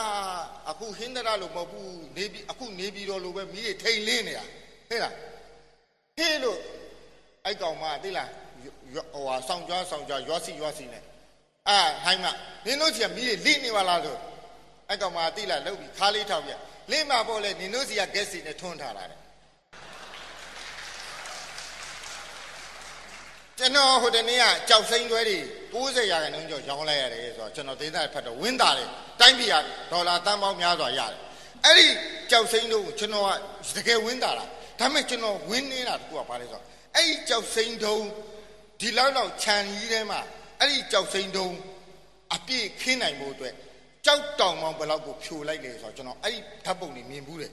ကြောက်တောင်ပေါင်းများစွာကမြေစာမုံတွေဖြစ်သွားတယ်နောက်ထပ်မြေကြီးတွေအပုံလိုက်ကြီးဖြစ်သွားတယ်အဲ့ဒီဖားကန်းတော်အောင်မှမယုံရင်သွားကြည့်ပါ အဓာကြီးတို့စက်ကြီးတွေမိုင်းနေခွဲထိုက်တာအဲ့ဒီတော့ကျွန်တော်တို့ဟာဒီကြောက်တုံးလေးတွေသူများရောင်းနိုင်ဖို့တော့ကျွန်တော်တို့ရဲ့တဘာဝတောင်ကြီးတွေဖြိုလိုက်တော့ကျွန်တော်တို့ကအဲ့ဒီမှာဟာလို့ကျွန်တော်ကတဘာဝတန်စာတာဆိုရောင်းနေအာဒါပေမဲ့ကျွန်တော်တို့အဲ့ကြောက်စိမ့်ကိုကျွန်တော်တို့ကျွန်တော်တို့လည်းမဝင်နိုင်ဘူးကျွန်တော်တို့မှအဲ့ကြောက်စိမ့်တူရတဲ့အတတ်ပညာလေးတခြားမရှိဘူးကျွန်တော်တို့ကဒီရေးတန့်ပလင်း ရေတန့်ရေးတာရှိတာဒီအောင်တန့်တဲ့အတတ်ပညာတော့ကျွန်တော်တို့မှမရှိဘူးနိုင်ငံခြားဆက်တွေပဲကျွန်တော်တို့ဝယ်ရတာကျွန်တော်တို့ကလေကိုယ်စီရထွက်တဲ့တစ်လေမယုံရင်ပရိဘောကလည်းကြည်ပါပရိဘောကကျွန်တော်တို့လုပ်တဲ့ပရိဘောကနဲ့သူတို့လုပ်တဲ့ပရိဘောကတအားกว่าတယ်ကျွန်တော်တို့ကနောက်ဟိုဝယ်ပြီးတော့နှစ်လလောက်ကြာရင်ဆိုရေးချောင်သွားတော့နော်ကျွန်တော်တို့မှာတစ်နဲ့ပတ်သက်လို့ကိုယ်စီရရှိတဲ့ပညာကိုကိုသိချာမသုံးတတ်ဘူးကိုယ်စီရရှိတဲ့ရေကိုကောင်းကောင်းမလုပ်နိုင်ဘူး ကျွန်တော်တို့ကငါငါးမွေးတယ်လေအခုသိလားဗီယက်နမ်ဆီကဒီပညာယူရတယ်မျိုးစီထိုင်းကယူရတယ်ကျွန်တော်တို့ဒီပတ်ဝန်းကျင်မှာကျွန်တော်တို့ထက်အကုန်တတ်တဲ့လူကြီးဖြစ်နေတယ်ကျွန်တော်တို့ရဲ့မိယိုးဖလာငားမွေးတာပစုံမွေးတာဒီစဘာဆိုင်တာအစစဘာမျိုးအစဗီယက်နမ်လို့ CP ကနေပြီးတော့ဝယ်ရတယ်ကျွန်တော်တို့ကအဲ့လိုဖြစ်နေပြီကျွန်တော်မှာဘာပညာကျွန်တော်လို့လဲ အဲ့တော့ကျွန်တော်ကကျွန်တော်ကအဲ့ဒါဘသူ့မှာအပြစ်မတင်မဲ့တယောက်ချင်းစူးစမ်းစေချင်လို့အခုကကျွန်တော်တို့ကဟိုအိန္ဒိယပြည်ကတအားဆင်းရဲတဲ့လူတွေတွေ့ဘူးတဲ့ကြောက်ကကနှစ်ဖက်နှစ်လုံးရှိမှနှလုံးနဲ့တစ်လုံးမဲ့ရှိကိုရတယ်အဲ့ဒီမှာအိန္ဒိယမှာတအားဆင်းရဲလူကဒီဘက်မှာအဲ့ဒီ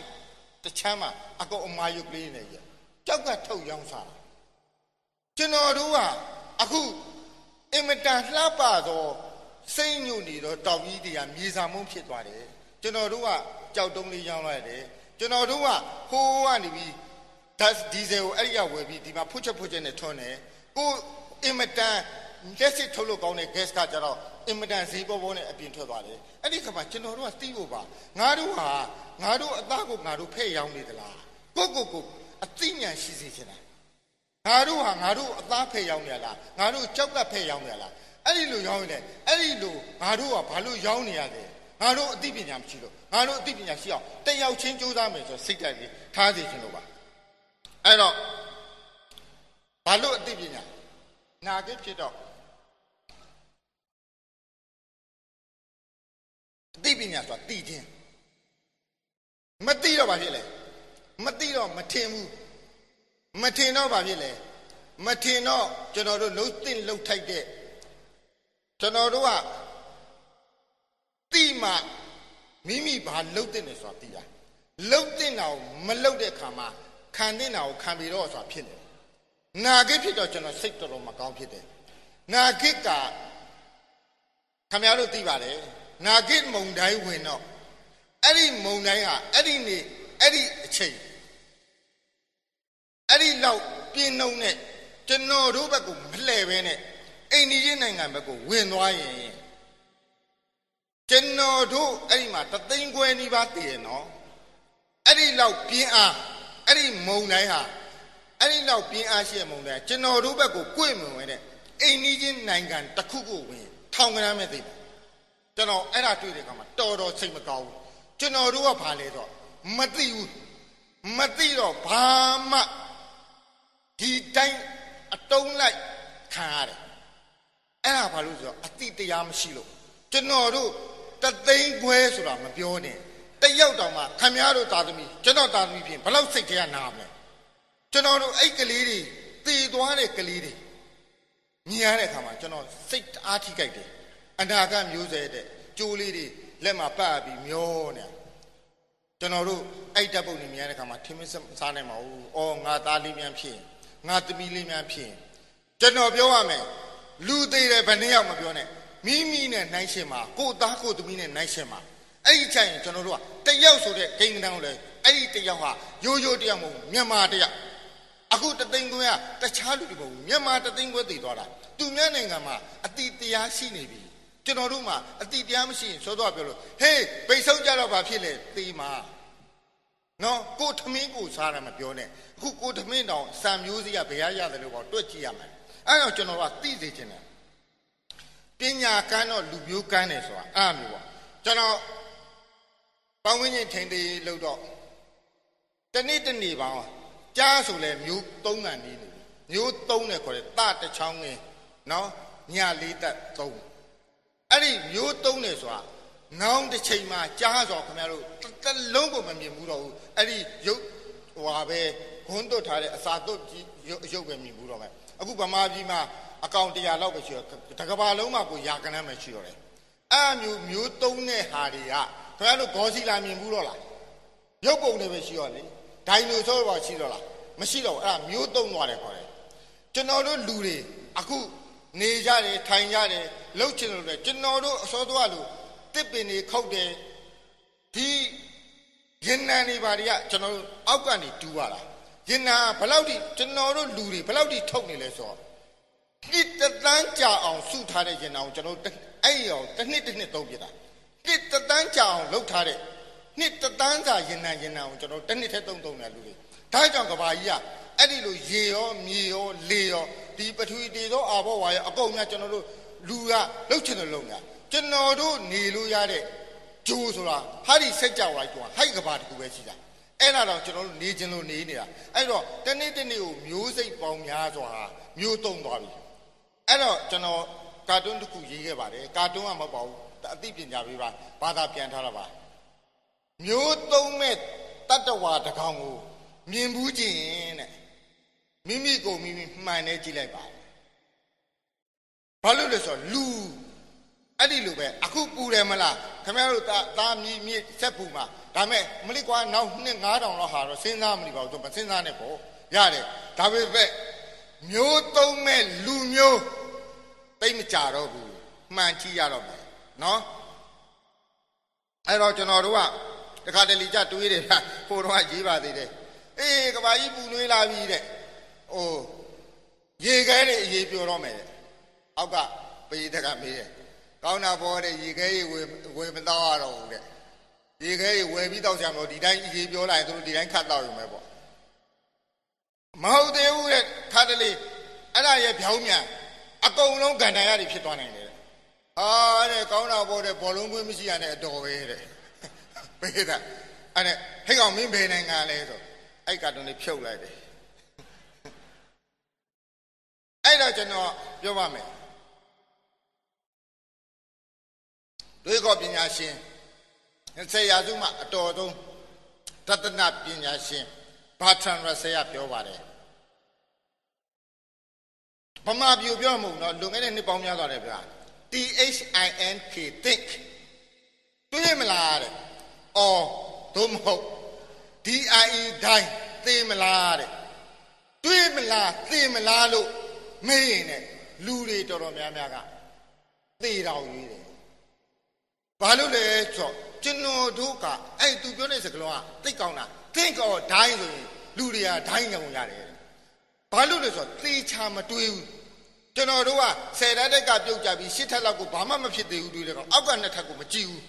ဒီအချိန်ကဘလောက်များလဲဆိုတာမကြည့်ဘူးမစင်စားဘူးကိုလွန်လွန်စေ okay နေ still okay ခေါ်တယ်ကိုအခုနေစားလို့တောက်လို့ရနေသေးအနောက်အနာဂတ်ကိုမကြည့် မဟုတ်ဘူးနောက်အနာဂတ်ကကျွန်တော်တို့ဘယ်ကိုသွားနေလဲအဝစီသွားနေလားကျွန်တော်တို့ကြည့်ရမှာနော်အဲ့တော့တင့်တော်ဓာတ်ဆိုရင်လူတော်တော်များများကတေချာမတွေးဘူးတဲ့ဓာတ်ကိုပဲရွေးတယ်ကျွန်တော်တို့အဲ့ဒီဟာမလောက်ကြပါနဲ့တော့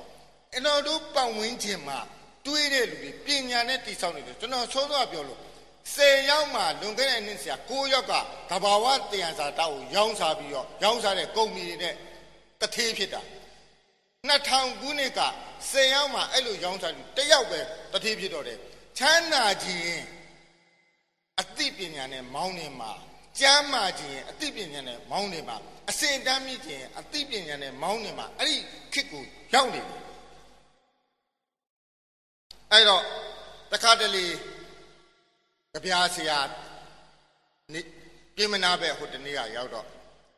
ကျွန်တော်ကြပြားလေးဆရာဖတ်ကြည့်အောင် ဖတ်ကြည့်တယ်ကောင်းတာသိလားကျွန်တော်တို့မျိုးချစ်ကြပြားဗျာကျွန်တော်တို့မျိုးတလက်မမအကျူးကြော်မခံဟုတ်တယ်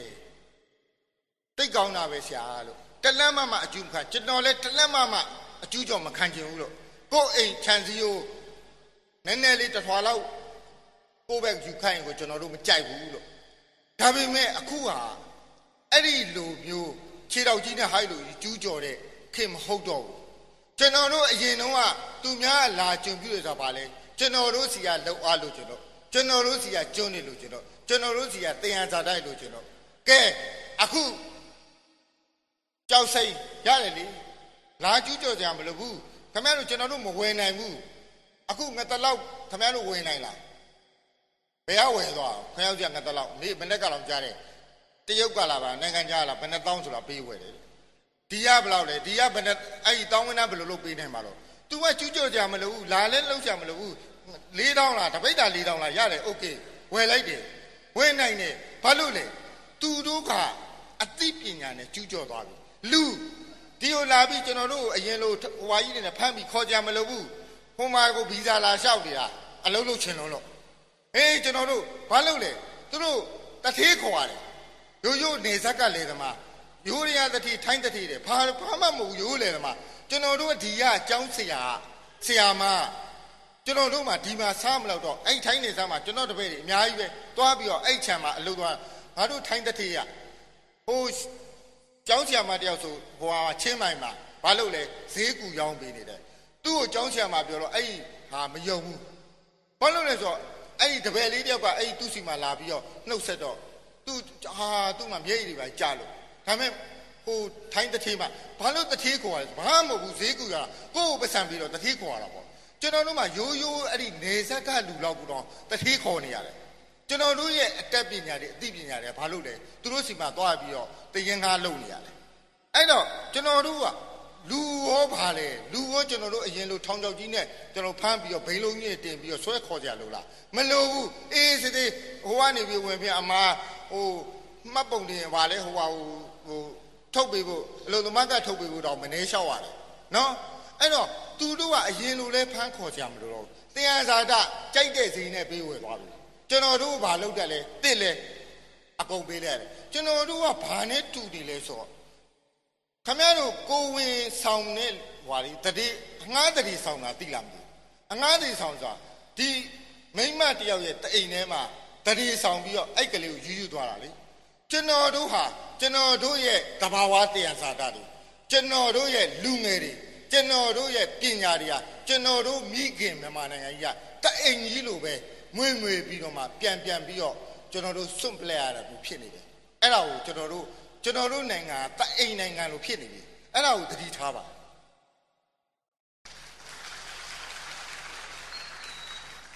အဲ့တော့ဆရာတော်ပြောသလိုပါပဲ အရေးမထွက်ဖရားသိတ်ကောင်းလိုက်တာ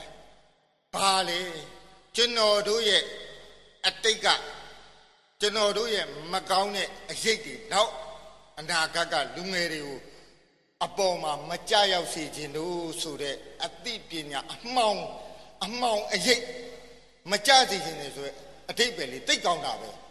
ကျွန်တော်တို့ကလည်းလူကြီးများကလည်းအမျှော်မြင်ကြီးပါတယ်ကျွန်တော်တခါတော့ကာတွန်းရေးဘူးလေသိလား တိုင်လုံးကြီးတစ်လုံးများလဲနေတာလူတစ်ဖက်လောက်ရှိတယ်တိုင်လုံးကြီးကျွန်းလောက်ပေါ့ဗျာအလုံးကြီးတိုင်လုံးကြီးလဲတာသူကပြောတယ်နောက်အနာဂတ်မှာအမေအဖိုးကြီးကသိလားနောက်အနာဂတ်မှာဒီတိုင်ကြီးထောင်မှတ်လာမှာပေါ့ကွာတဲ့ဟာဘေးကလူကအဖရအဖတိတ်အမြုံမြင်ကြီးတာပဲနော်ဒီနောက်အနာဂတ်မှာဓာကြီးထောင်မှတ်ဖို့တဲ့အဖမျောမြင်တာပဲတော့ မျောမြင်ရမှာပေါ့ကွာတဲ့မမျောမြင်ငါအခုထောင်နေရမှာပေါ့တဲ့တော်တော်ပင်ပန်းပါတဲ့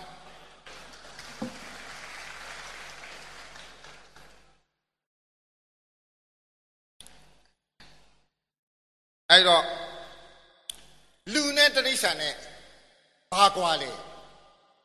ကဲခမရတို့စင်းနဲ့နှပန်းလုံးရဲလားလဲလုံးရတဲ့လူရှိလားစင်ရခမရတို့တို့အားကြီးတယ် ဒါပေမဲ့စင်ကိုကျွန်တော်တို့ကတစ်ဆွဲပြီးခိုင်းစားတယ်မြင်းတော့ခမရတို့မြန်လား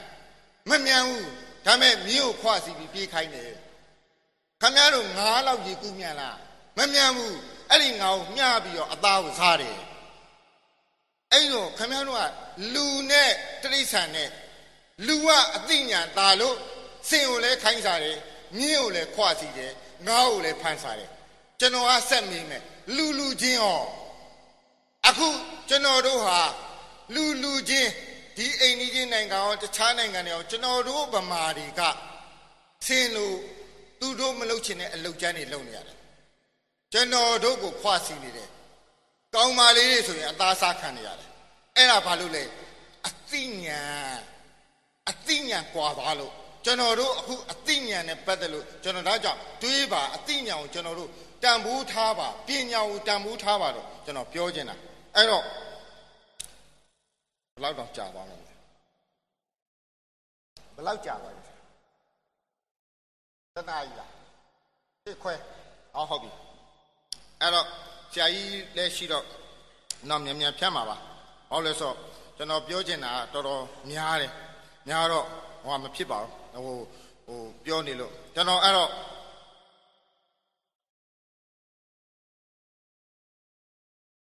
ကျွန်တော်တို့ဟာညာတဲ့တန်တရားကျွန်တော်တို့ကအထက်ကအောက်ကိုညာတယ်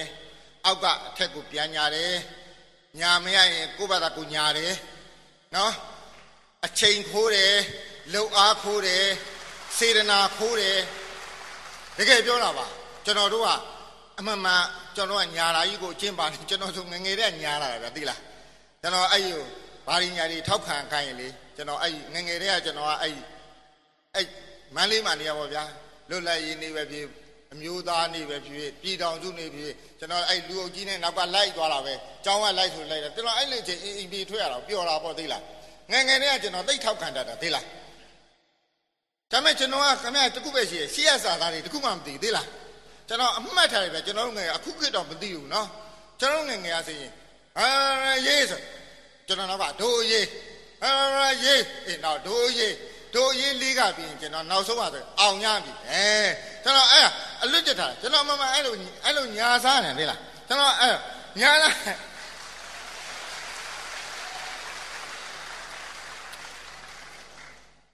ကျွန်တော်တို့ကအဲ့လိုပဲအားလေသမားလေဟိုအထက်ကဘာပဲဆိုင်ရမယ်ဟိုကဘာအသိဉာဏ်ညာမရှိဘူးခိုင်းလိုက် ငါငါမဟုတ်တာခိုင်းတာပဲငါလဲစိုက်ပြီးရင်ငါလဲဟိုမှာစဘာဆိုလဲကျွန်တော်ကျွန်တော်ဆန်ဆက်ဆက်ရုံမူလုပ်ခဲ့ပူပါတယ်စဘာအကြောက်ဆုံးကဖုံမှာအမေဖုံဖုံမြေကြီးလေးနည်းနည်းပူကော်ထည့်လိုက်တယ်ပေါ့တော့ကတ်တန်းတဲ့ချိန်မှာဟိုဖုံလေးပူထည့်လိုက်တော့ပူလေးသွားတယ်ဗမာဆန်ဆက်ကလေးကဘာအောင်မှာရှိတဲ့ဆန်ဆက်တဲ့စကား၃ခုလောက်ထားရတယ်ပေါ့တော့ဖုံများလုံးတော့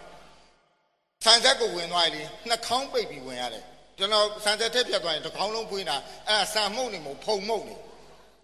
အကောင်းပြောတာနိုင်ငံညာမှာအဲ့လိုကျွန်တော်တို့စပားအည်တွေဆန်ရည်တွေမကောင်းဘူးမပြောနဲ့လေဖုံနေကြီးပဲလေနိုင်ငံညာမှာကော်စောနေတာကော်စောတဲ့အဲ့လိုကော်စောတွေအဲ့ဒီစစ်ဆိုင်မှာအပြည့်ခင်းတာလားဖုံစက်မှမထွက်ဘူးထိုင်းတော့ဆန်ရည်တွေကောင်းမှာပေါ့ဖုံမှမပါလားကျွန်တော်တို့အဲ့လိုဖုံလေးရောတာဘာလို့ကျွန်တော်ကထပ်ပြီးညာအဲဟိုဖုံလေးရောပြီးလို့တော့ဟိုဘက်က ဆန်အဲ့ဒီဟွာလေတခါအဲ့ဒီဆန်ဆန်ဖြစ်တော့လေဆန်ကုန်တယ်လေကျွန်တော်တို့ဟိုဟာလေးနဲ့ပြည်ချင်းလေးခိုးပြီးကျွန်တော်တို့ရောင်းလိုက်တယ်ကျွန်တော်တို့ကလေကျွန်တော်တို့ငံပြာကြီးပြန်ရောင်းမလဲကြာစားလေးပို့ထည့်ပြီးရောင်းလိုက်တယ်ကျွန်တော်တို့ကအဲ့မှာငါကျွန်တော်ကလည်းအဲ့ဒီဆောင်းဟွာရောမတက်ဘူးဟိုငံပြာကြီးလည်းမတက်ဘူးစဘာလည်းမစိတ်တက်ဘူးစာသင်ရမယ်ဆိုရင်ကျွန်တော်လည်းကျွန်တော်သင်မဲ့ဟာလေးရှော့တင်လိုက်တယ်နော်ကျွန်တော်တို့ကတန်တရားကြီးကိုညာတဲ့တန်တရားကြီးမှလဲနေတာများနေပြီအဲ့ဒါကြီးကကရွတ်ခွေလို့ပဲ ကျွန်တော်ကတော့ကျွန်တော်အခုတက်နိုင်ပြီကြိုးထားတယ်ငါတတွဲစာရိုက်ရင်ယထာတွဲတွဲတွဲလေးမှာအဲ့လိုကရွတ်ခွေပတ်ပြီးဆက်သွားနေတတွဲကရက်လိုက်မှဖြစ်မယ်တခုမှမရက်ဖဲနဲ့ဆက်ပြီးကိုကလိုက်လေနေတော့အဲ့တန်တရားနော်ဒါကြောင့်ကျွန်တော်အဲ့လူတွေအသိပညာနည်းနည်းတတိထားကြပါဦးလို့နော်အဲ့ဒါကိုပြောတာအဲ့တော့ကျွန်တော်ကညာတယ်ဗျာ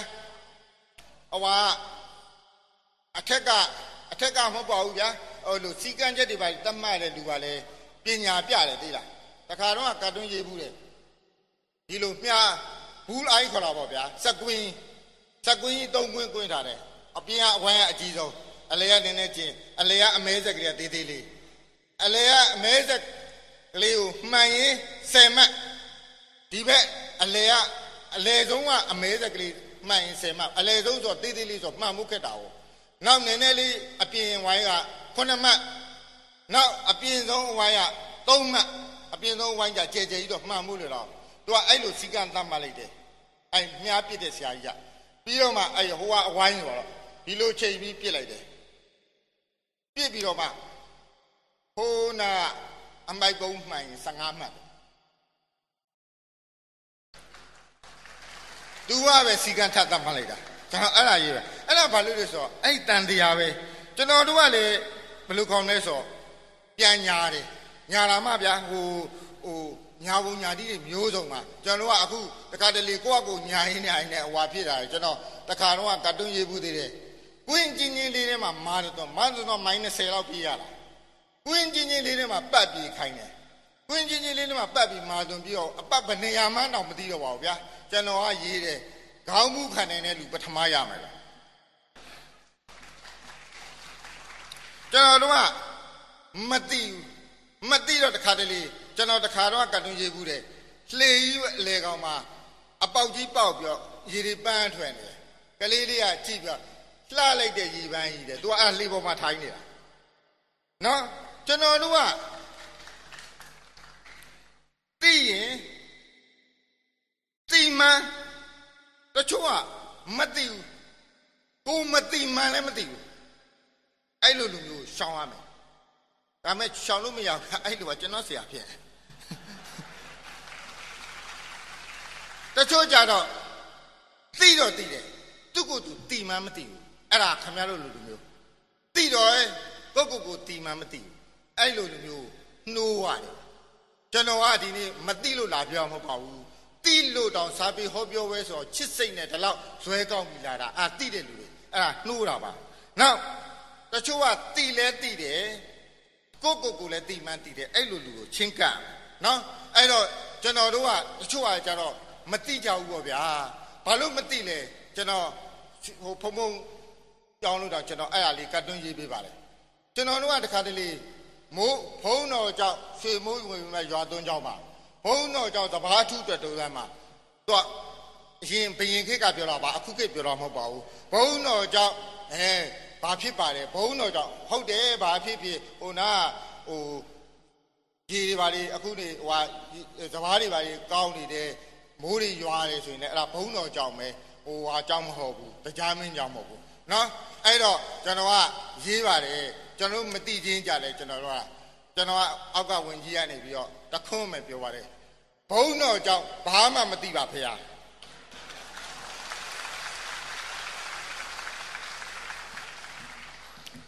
အဲ့တော့ကျွန်တော်တို့ကပညာရေးပညာဖြစ်ဖိမိဖွံ့ဖြိုးတိုးတက်သောနိုင်ငံတော်ကြီးတည်ဆောက်အပ်ကျောင်းတိုင်းမှာလိုလိုမှာကတ်ထားပါတယ်အဲ့ဒါအမှန်ပါ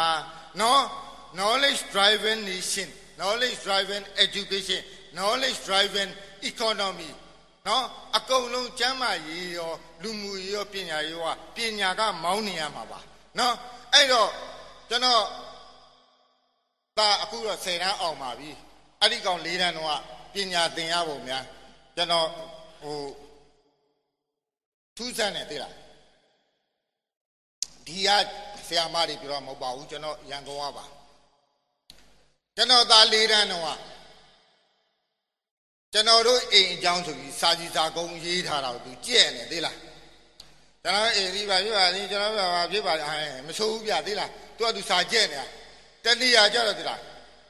ကျွန်တော်ဤဖခင်မှာဥပဖြစ်ပါသည်ဟာအဲ့ကြတော့ကျွန်တော်နည်းနည်းလန့်သွားတယ်ဗျ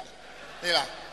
ကျွန်တော်ဤဖခင်မှာဥပဖြစ်ပါသည်ကျွန်တော်ကွာလမ်းလျှောက်တယ်ကျွန်တော်ရုပ်တည်တွန့်သွားတော့ဗောအဲ့ဒါရက်ပြီးတော့ကလေးနာအငယ်ဆုံးတော့ကြောက်ရတယ်လေတာဟိုဆိုတော့ဘာဘာလဲကွာလေပေဆောင်ဆောင်နဲ့ကြည့်တယ်သိလားကျွန်တော်ဤဖခင်မှာဥပဖြစ်ပါသည်ဟာယုံယုံကြည်ကြည်ပဲဗျာသိလားထပ်ပြောဟာမောတာ ဖះလေလို့နာမည်ရင်းကဥဝင်းနိုင်လို့ဟွာလေလို့ကလောင်နာမည်အော်ပီကျဲလို့ဘာမှပြောဘူးကျွန်တော်အဖက်လုပ်ရင်ပြောပြန်ပြီးတော့ကျွန်တော်ဤဖခင်မှာဥပဖြစ်ပါသည်တဲ့သုံးချိန်ရှိသွားပြီဗျာကျွန်တော်အားပဲဖြစ်ကျွန်တော်နည်းနည်းတော့ဟွာဖြစ်သွားပြီလန့်လာပြီလန့်တော့ကျွန်တော်လည်းမတိမတာပါနော်လက်ကလေးလက်ပွားပြီးမိမခမင်းချက်တဲ့နာသွားပြီးတော့မိမရေးလို့တို့အတိရရတဲ့ဥပတို့ကမြန်ရှိလာတယ် မိမလည်းဘာမှမသိဘူးဗျာတကယ်ဘာမှနဲ့ဒီလိုနာမည်ကြီးဒီဟာကြီးမရှိတော့ပါဘူးတဲ့ဒီလိုနာမည်ကြီးဘာဖြစ်လို့လဲတဲ့အော်ဘာမှဖြစ်ပါဘူးကတော့ဟိုဟိုတခြားအောင်ဘာတို့ဘာပထိုးအဲ့လိုဘာပါတဲ့လူရှိလားဆိုသူလည်းချင်းဘာဖြစ်လို့လဲတဲ့ရှိပါဘူးတဲ့ကျွန်တော်လည်းဟာသိလား तू မရှိဘူးဆိုပေမဲ့လည်းယုံဝခက်ခက်ပေါ့ဗျာအဲ့ဒါကျွန်တော်အိမ်ရှိပြန်လာပြီကျွန်တော်နောက်တစ်ချိန်တော့အစွတ်ရော ဒါဟိုစောတော့ဆိုဟိုကောင်သိတယ်မေဘာအထာပဲထပ်မေးမယ်တော့သိရဲ့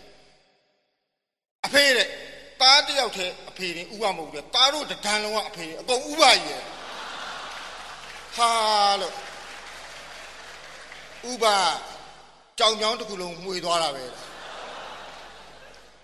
ကျွန်တော်တို့စောသွားပြောတဲ့အမှားအမှန်ခွဲခြားခြင်းကြောင်းကျိုးအမှားမှ creation မိမိကိုယ်ကိုအဲ့လိုတွေးဆခြင်းအဲ့လိုမျိုးတွေနဲ့သွားမယ်ပညာရေးအဲ့ပညာရေးကိုဦးလေးတာပြီးကွက်လက်ကလေးကိုသားတို့သမီးတို့ရေအိမ်ရောက်မှမသိရင်လည်းအိမ်ရောက်မှကို့အဖေနာမည်လေးကိုဖြည့်ကြပါလို့ပြောလိုက်ရင်ရတာပဲကဲအဲ့တော့ကျွန်တော်ကဆရာမတွေကိုကျွန်တော်တို့အပြစ်ပြောရလားမဟုတ်ဘူးကဲအဲ့ဒါဆိုရင်ကျွန်တော်တို့ကကျွန်တော်တို့အဲ့ဒီကလေးတစ်နှစ်လုံးစာချက်မှာကိုကဲတာအဲ့ဒါကိုဖျက်လိုက် ဥဝင်းနိုင်လို့ပြင်လိုက်အဖေပြင်းရင်ဆရာမရိုက်လိုက်မယ်ဟောဗျာဥပ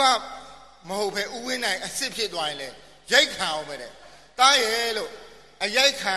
နာလားလို့ရိုက်မယ်ဆိုရင်ဆရာမမရိုက်တယ်ကျွန်တော်အဖေခေါ်ရိုက်လို့လားပြောလိုက်တာကျွန်တော်အဲ့လိုပြောခဲ့ပါအဓိကကျွန်တော်တို့မိဘတွေကိုလည်းအဲ့လိုပြင်ရဲသောပြင်တတ်သောပြင်ဖို့တောင်းဆိုသောနှလုံးသားတွေရှိဖို့လိုတယ်ကျွန်တော်ကအရင်တော့ဟောပြောတော့ကကြတော့ မဟုတ်ဘူးဆရာမတွေဒါကိုစဉ်းစားကြပါမဟုတ်ဘူးကျွန်တော်တို့ကအမှားကိုသိကျွန်တော်တို့ကိုယ်တိုင်လည်းပြင်လေပြင်ပြီးတော့ဆရာမစီစာလေးတွေဆိုဆရာမကြီးကျမအထင်လွဲမှဆိုသည့်အတွက်ကျွန်မကြီးသူသူကလေးကြီးအဖေနာမီကိုဥဝင်းနိုင်ဖြစ်ပြန်လဲပြောင်းပေးပါရမေတ္တာရက်ခံပါသည်ဆိုစာလေးတော့တော့ရေးပေးလိုက်ပေါ့ဗျာတော်ကြယောက်ျားအထင်လွဲနေမှာပေါ့အဲ့တော့ကျွန်တော်တို့ပညာဆိုတာသို့တော့ပြောတော့ဗျ အဲ့အဝိဇ္ဇာအမောင်ဖယ်ဖို့ကိုလူမျိုးကိုရှင်းတန်ဖို့ကျွန်တော်တို့ကပညာရင်တို့တောက်ဆုကြတယ်နော်ပညာဆိုတာအဲ့ဒါကျွန်တော်တို့ကျောင်းပညာကျောင်းပညာကိုလည်းဆရာတေချာပြောရလိမ့်မယ်ကျောင်းပညာသိအရေးကြီးပါတယ်အဲ့တော့ကျွန်တော်တို့ပညာတတ်ဖို့တခါတလေကျွန်တော်တို့ကဘယ်ဆရာမှမကောင်းလို့ကျောင်းမကောင်းလို့ကျွန်တော်ပြောပြပါမယ်ပညာဆိုတာနော် learning ဆိုတာသင်ယူခြင်းမဟုတ်ပါဘူး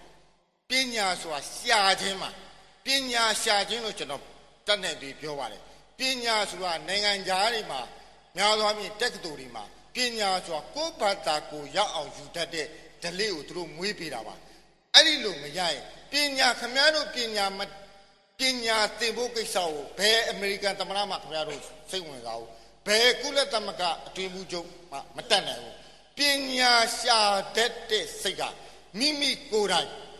မိဘတော့သိမတတ်နိုင်ဘူးအဲ့ဒီအခုကျောင်းသားများလဲကိုကိုကိုပညာရှာတတ်တဲ့စိတ်ထားပါကျွန်တော်ပြောရင်ရှိမှဆိုလို့ပညာတကယ်တော်တဲ့လူတွေအကုန်လုံးကကိုယ့်ဘာသာကိုပညာရှာတဲ့စိတ်သက်ထားထားတဲ့လူပါအဲ့တော့ပညာဆိုတော့ဘွဲတွေတိုင်းမဟုတ်ပါဘူးကျွန်တော်ဆိုတော့ပြောလို့အမှားမှန်ခွဲခြားပြီးသိတတ်တဲ့စိတ်ဓာတ်အဲ့ဒီပညာကိုကိုယ့်ဘာသာကိုရှာဖို့လိုပါတယ်အဲ့တော့ ကျွန်တော်မြန်မြန်ဖြတ်တော့မှာကျွန်တော်တို့ကတင်တန်းနေနိုင်ငံခြားသွားပညာသင်တယ်နိုင်ငံခြားမှာအိမ်တော်လေးကြတယ်ဗမာပြည်ပြန်လာပြီးနိုင်ငံခြားပညာနဲ့လုံးဆရာလုံးမရှိဘူးစောစောလိုပဲဗမာပြည်ကတအိမ်လေးလိုပဲဖြစ်နေငငယ်တုန်းကဆိုရင်လူလေးကြည့်ရင်ဘာလုပ်မယ်ဆိုရင်ဘာလဲဆရာဝန်ကြီးလုပ်မယ်စစ်ဗိုလ်ကြီးလုပ်မယ်အင်ဂျင်နီယာကြီးလုပ်မယ် ကျွန်တော်ကာတွန်းရေးပါတယ်အဲ့ဒါကျွန်တော် idea တစ်ခုမှမပေါ့ကလေးတယောက်တကယ်ဖြေခဲ့တာပါနိုင်ငံသားလုပ်မယ်လူလေးချင်းဘလောက်ဝင်နေဖို့ကောင်းလဲဆိုတော့အဲ့ဒါကခင်ဗျားတို့မျိုးဖြစ်တကယ်လူတိုင်းလူလူဖြစ်နေရတယ်တကယ်ကိုနိုင်ငံခြားမှာသွားပညာသင်ပြီး90ရာနှုန်းကနိုင်ငံသားပဲလုပ်သွားတယ်နော်အဲ့တော့ကျွန်တော်တို့ကသူတို့တွေဆုံးရှုံးတာကျွန်တော်တို့သူတို့အပြစ်မပြောပါဘူးကျွန်တော်တို့ ကျွန်တော်တို့တတိထားပါနောက်ကျွန်တော်တို့သင်နေတဲ့ပညာတွေကဘလို့ပညာတွေလဲသောတော်လို့ဘ ഹു တုဒ္ဒမိဘူးတုဒ္ဒလားကိုသားသမီးတွေကိုလည်းစဉ်းစားပါကိုကိုယ်တိုင်လည်းစဉ်းစားပါကျွန်တော်အဲ့လိုသင်တန်းတွေပေါက်တက်ကလို့တော့ကာတွန်းတစ်ခုရေးဘူးတဲ့အဲ့ကာတွန်းကရီလို့ပါရီရလို့ကျွန်တော်ပြောပြပါမယ်ကိုအကူရေးပြီးကိုအကူရီရတာနော်မလီတော်တော်တော်ရဲ့ကာတွန်းဆရာအသေးစိတ်မမှတ်ပြီလို့ဆောက်ရက်ဖတ်ရတာ တင်တန်းတွေဗမာပြည်တချို့တင်တန်းတွေပါအတင်တန်းအကုန်ပြောမှာမဟုတ်ဟိန္ဒရာတင်တန်းတွေမပါဘူးသိလားကျဲဥပြုံဒီတင်တန်းတလားပြငါပြောသည်ခွာငါပြောဝင်ခွာနီးတင်တန်းအနိကရှိသည်ရေတောင်နီးတင်တန်းစာတွေလက်တွေတင်ကြပြီမိဖနက်စီးနီးတင်တန်းမတတ်မချင်းတင်ပြီမိခဲရန်ချွန်နီးတင်တန်းစက်တလုံးညစီဖြင့်တင်ပြီမိမျက်နှာတင်ဒီတင်တန်းကားအကျိုးပို့ရှိသည် ပစိုးဝင်ဤတင်တာအင်ကြီးဝင်ဤဖြင့်တွဲပြီးတင်ပါကအထူးနှုံးထီးပွင့်ဤတင်တာဝါရင်ဆရာများကိုယ်တိုင်တင်ကြပြီသည်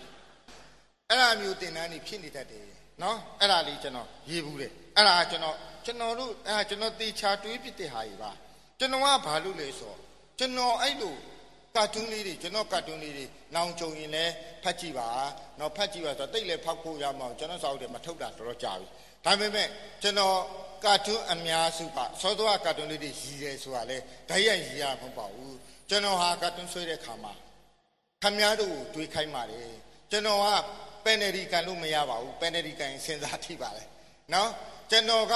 ထောင်းငံဘောကန်တာပါနော်ဘောလုံးလို့ထောင်းငံဘောကန်တော့မှခမည်းတော်စာဖတ်သူတွေကခေါင်းတိုက်ပြီးကိုကြိုက်တဲ့ကိုကိုတွင်းတော်လာပါနော်အပြစ်ရှိရင်တော့ခမည်းတော်ပါပဲ အဲ့တော့ကျွန်တော်တခုတော့နည်းနည်းလေးပြောချင်ပါတယ်တချို့လူငယ်တွေကျွန်တော်တို့ဟာ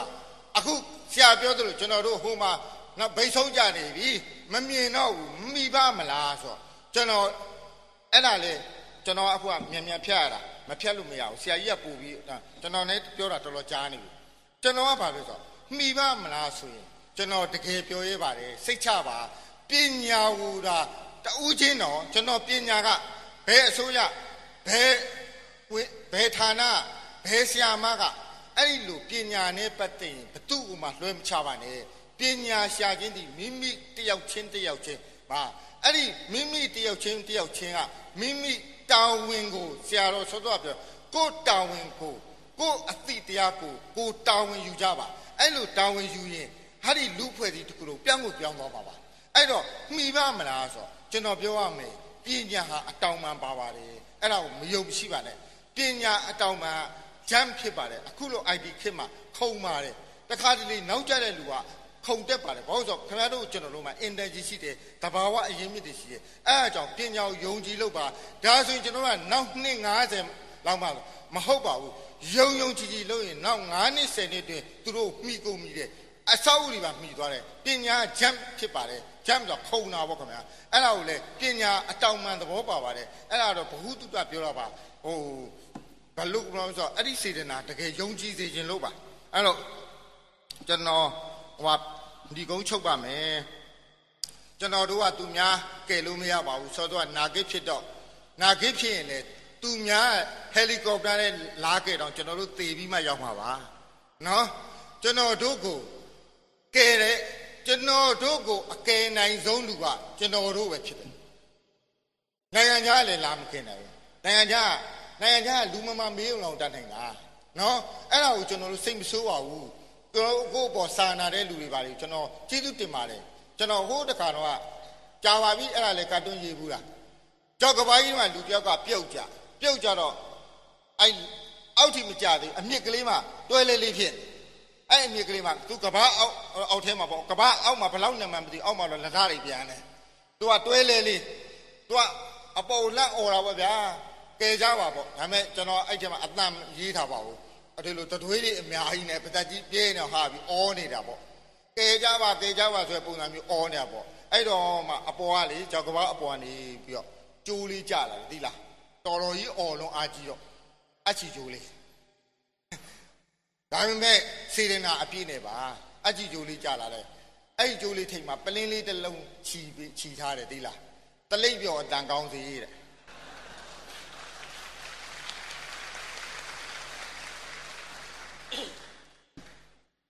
အဲ့တော့ကျွန်တော်တို့ကဟောပြောပဲကျွန်တော်နောက်ဆရာကြီးကအင်မတန်ဘာဘာပြအတော်ဆုံးအင်မတန်အတွေ့အကြုံဆရာ84နှစ်တောင်ရှိပါပြီ တကယ်ကိုကြိုးစားပန်းစားလာလာပါဒီချိန်ထိခင်ဗျားတို့တချို့84နှစ်ဆိုအိယာတဲ့နေမဲ့ဟာပါဆရာကြိုးစားပန်းစားတယ်ဆရာကိုနားထောင်စီခြင်းပါတယ်ဆရာ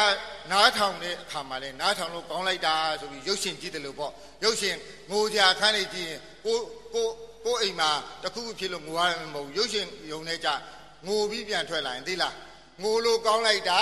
ငိုလို့ကောင်းလိုက်တာပြည့်ရငိုတာကိုကောင်းနေတယ်သိလားဟုတ်တာပေါ့ကိုကခဏတာလေးခံစားလိုက်တာ哦 ကျွန်တော်တို့တော့ကျွန်တော်ဟောပြောဝဲပြီးရင်တော့အဲ့လိုငါထောင်လို့ကောင်းလိုက်တယ်ဆိုတဲ့အဆင့်ကိုတော့ကျွန်တော်မသွားစီချင်တော့ပါဘူးအသိပညာကိုတန်ဖိုးထားသောလူတွေဖြစ်စေချင်ပါတယ်ကျွန်တော်တို့ဟာဒီနေ့ခမည်းတော်ကျွန်တော်တို့ရနေတာခမည်းတော်စောတော်ကဟွာလိုပါပဲကားစုပ်ကြီးပေါ်မှာ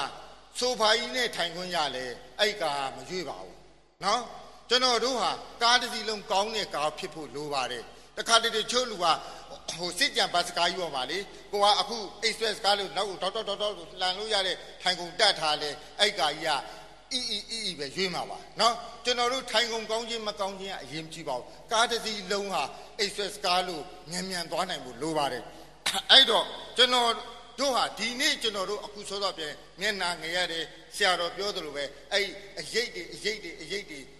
မကြံတော့တဲ့ဟာကိုရောက်စေခြင်းတယ် ရောက်စေခြင်းဘသူကရောက်အောင်မလဲအလိုလိုနေနေမထွက်ဖဲနေမှာအရေးမထွက်မှာလားမဟုတ်ဘူးကျွန်တော်တို့ကအဲ့အရေးဖြစ်တဲ့နေအောင်အလင်းအောင်အလင်းအောင်တကယ်ကောင်းကောင်းပေးနိုင်ရင်အဲ့ဒီ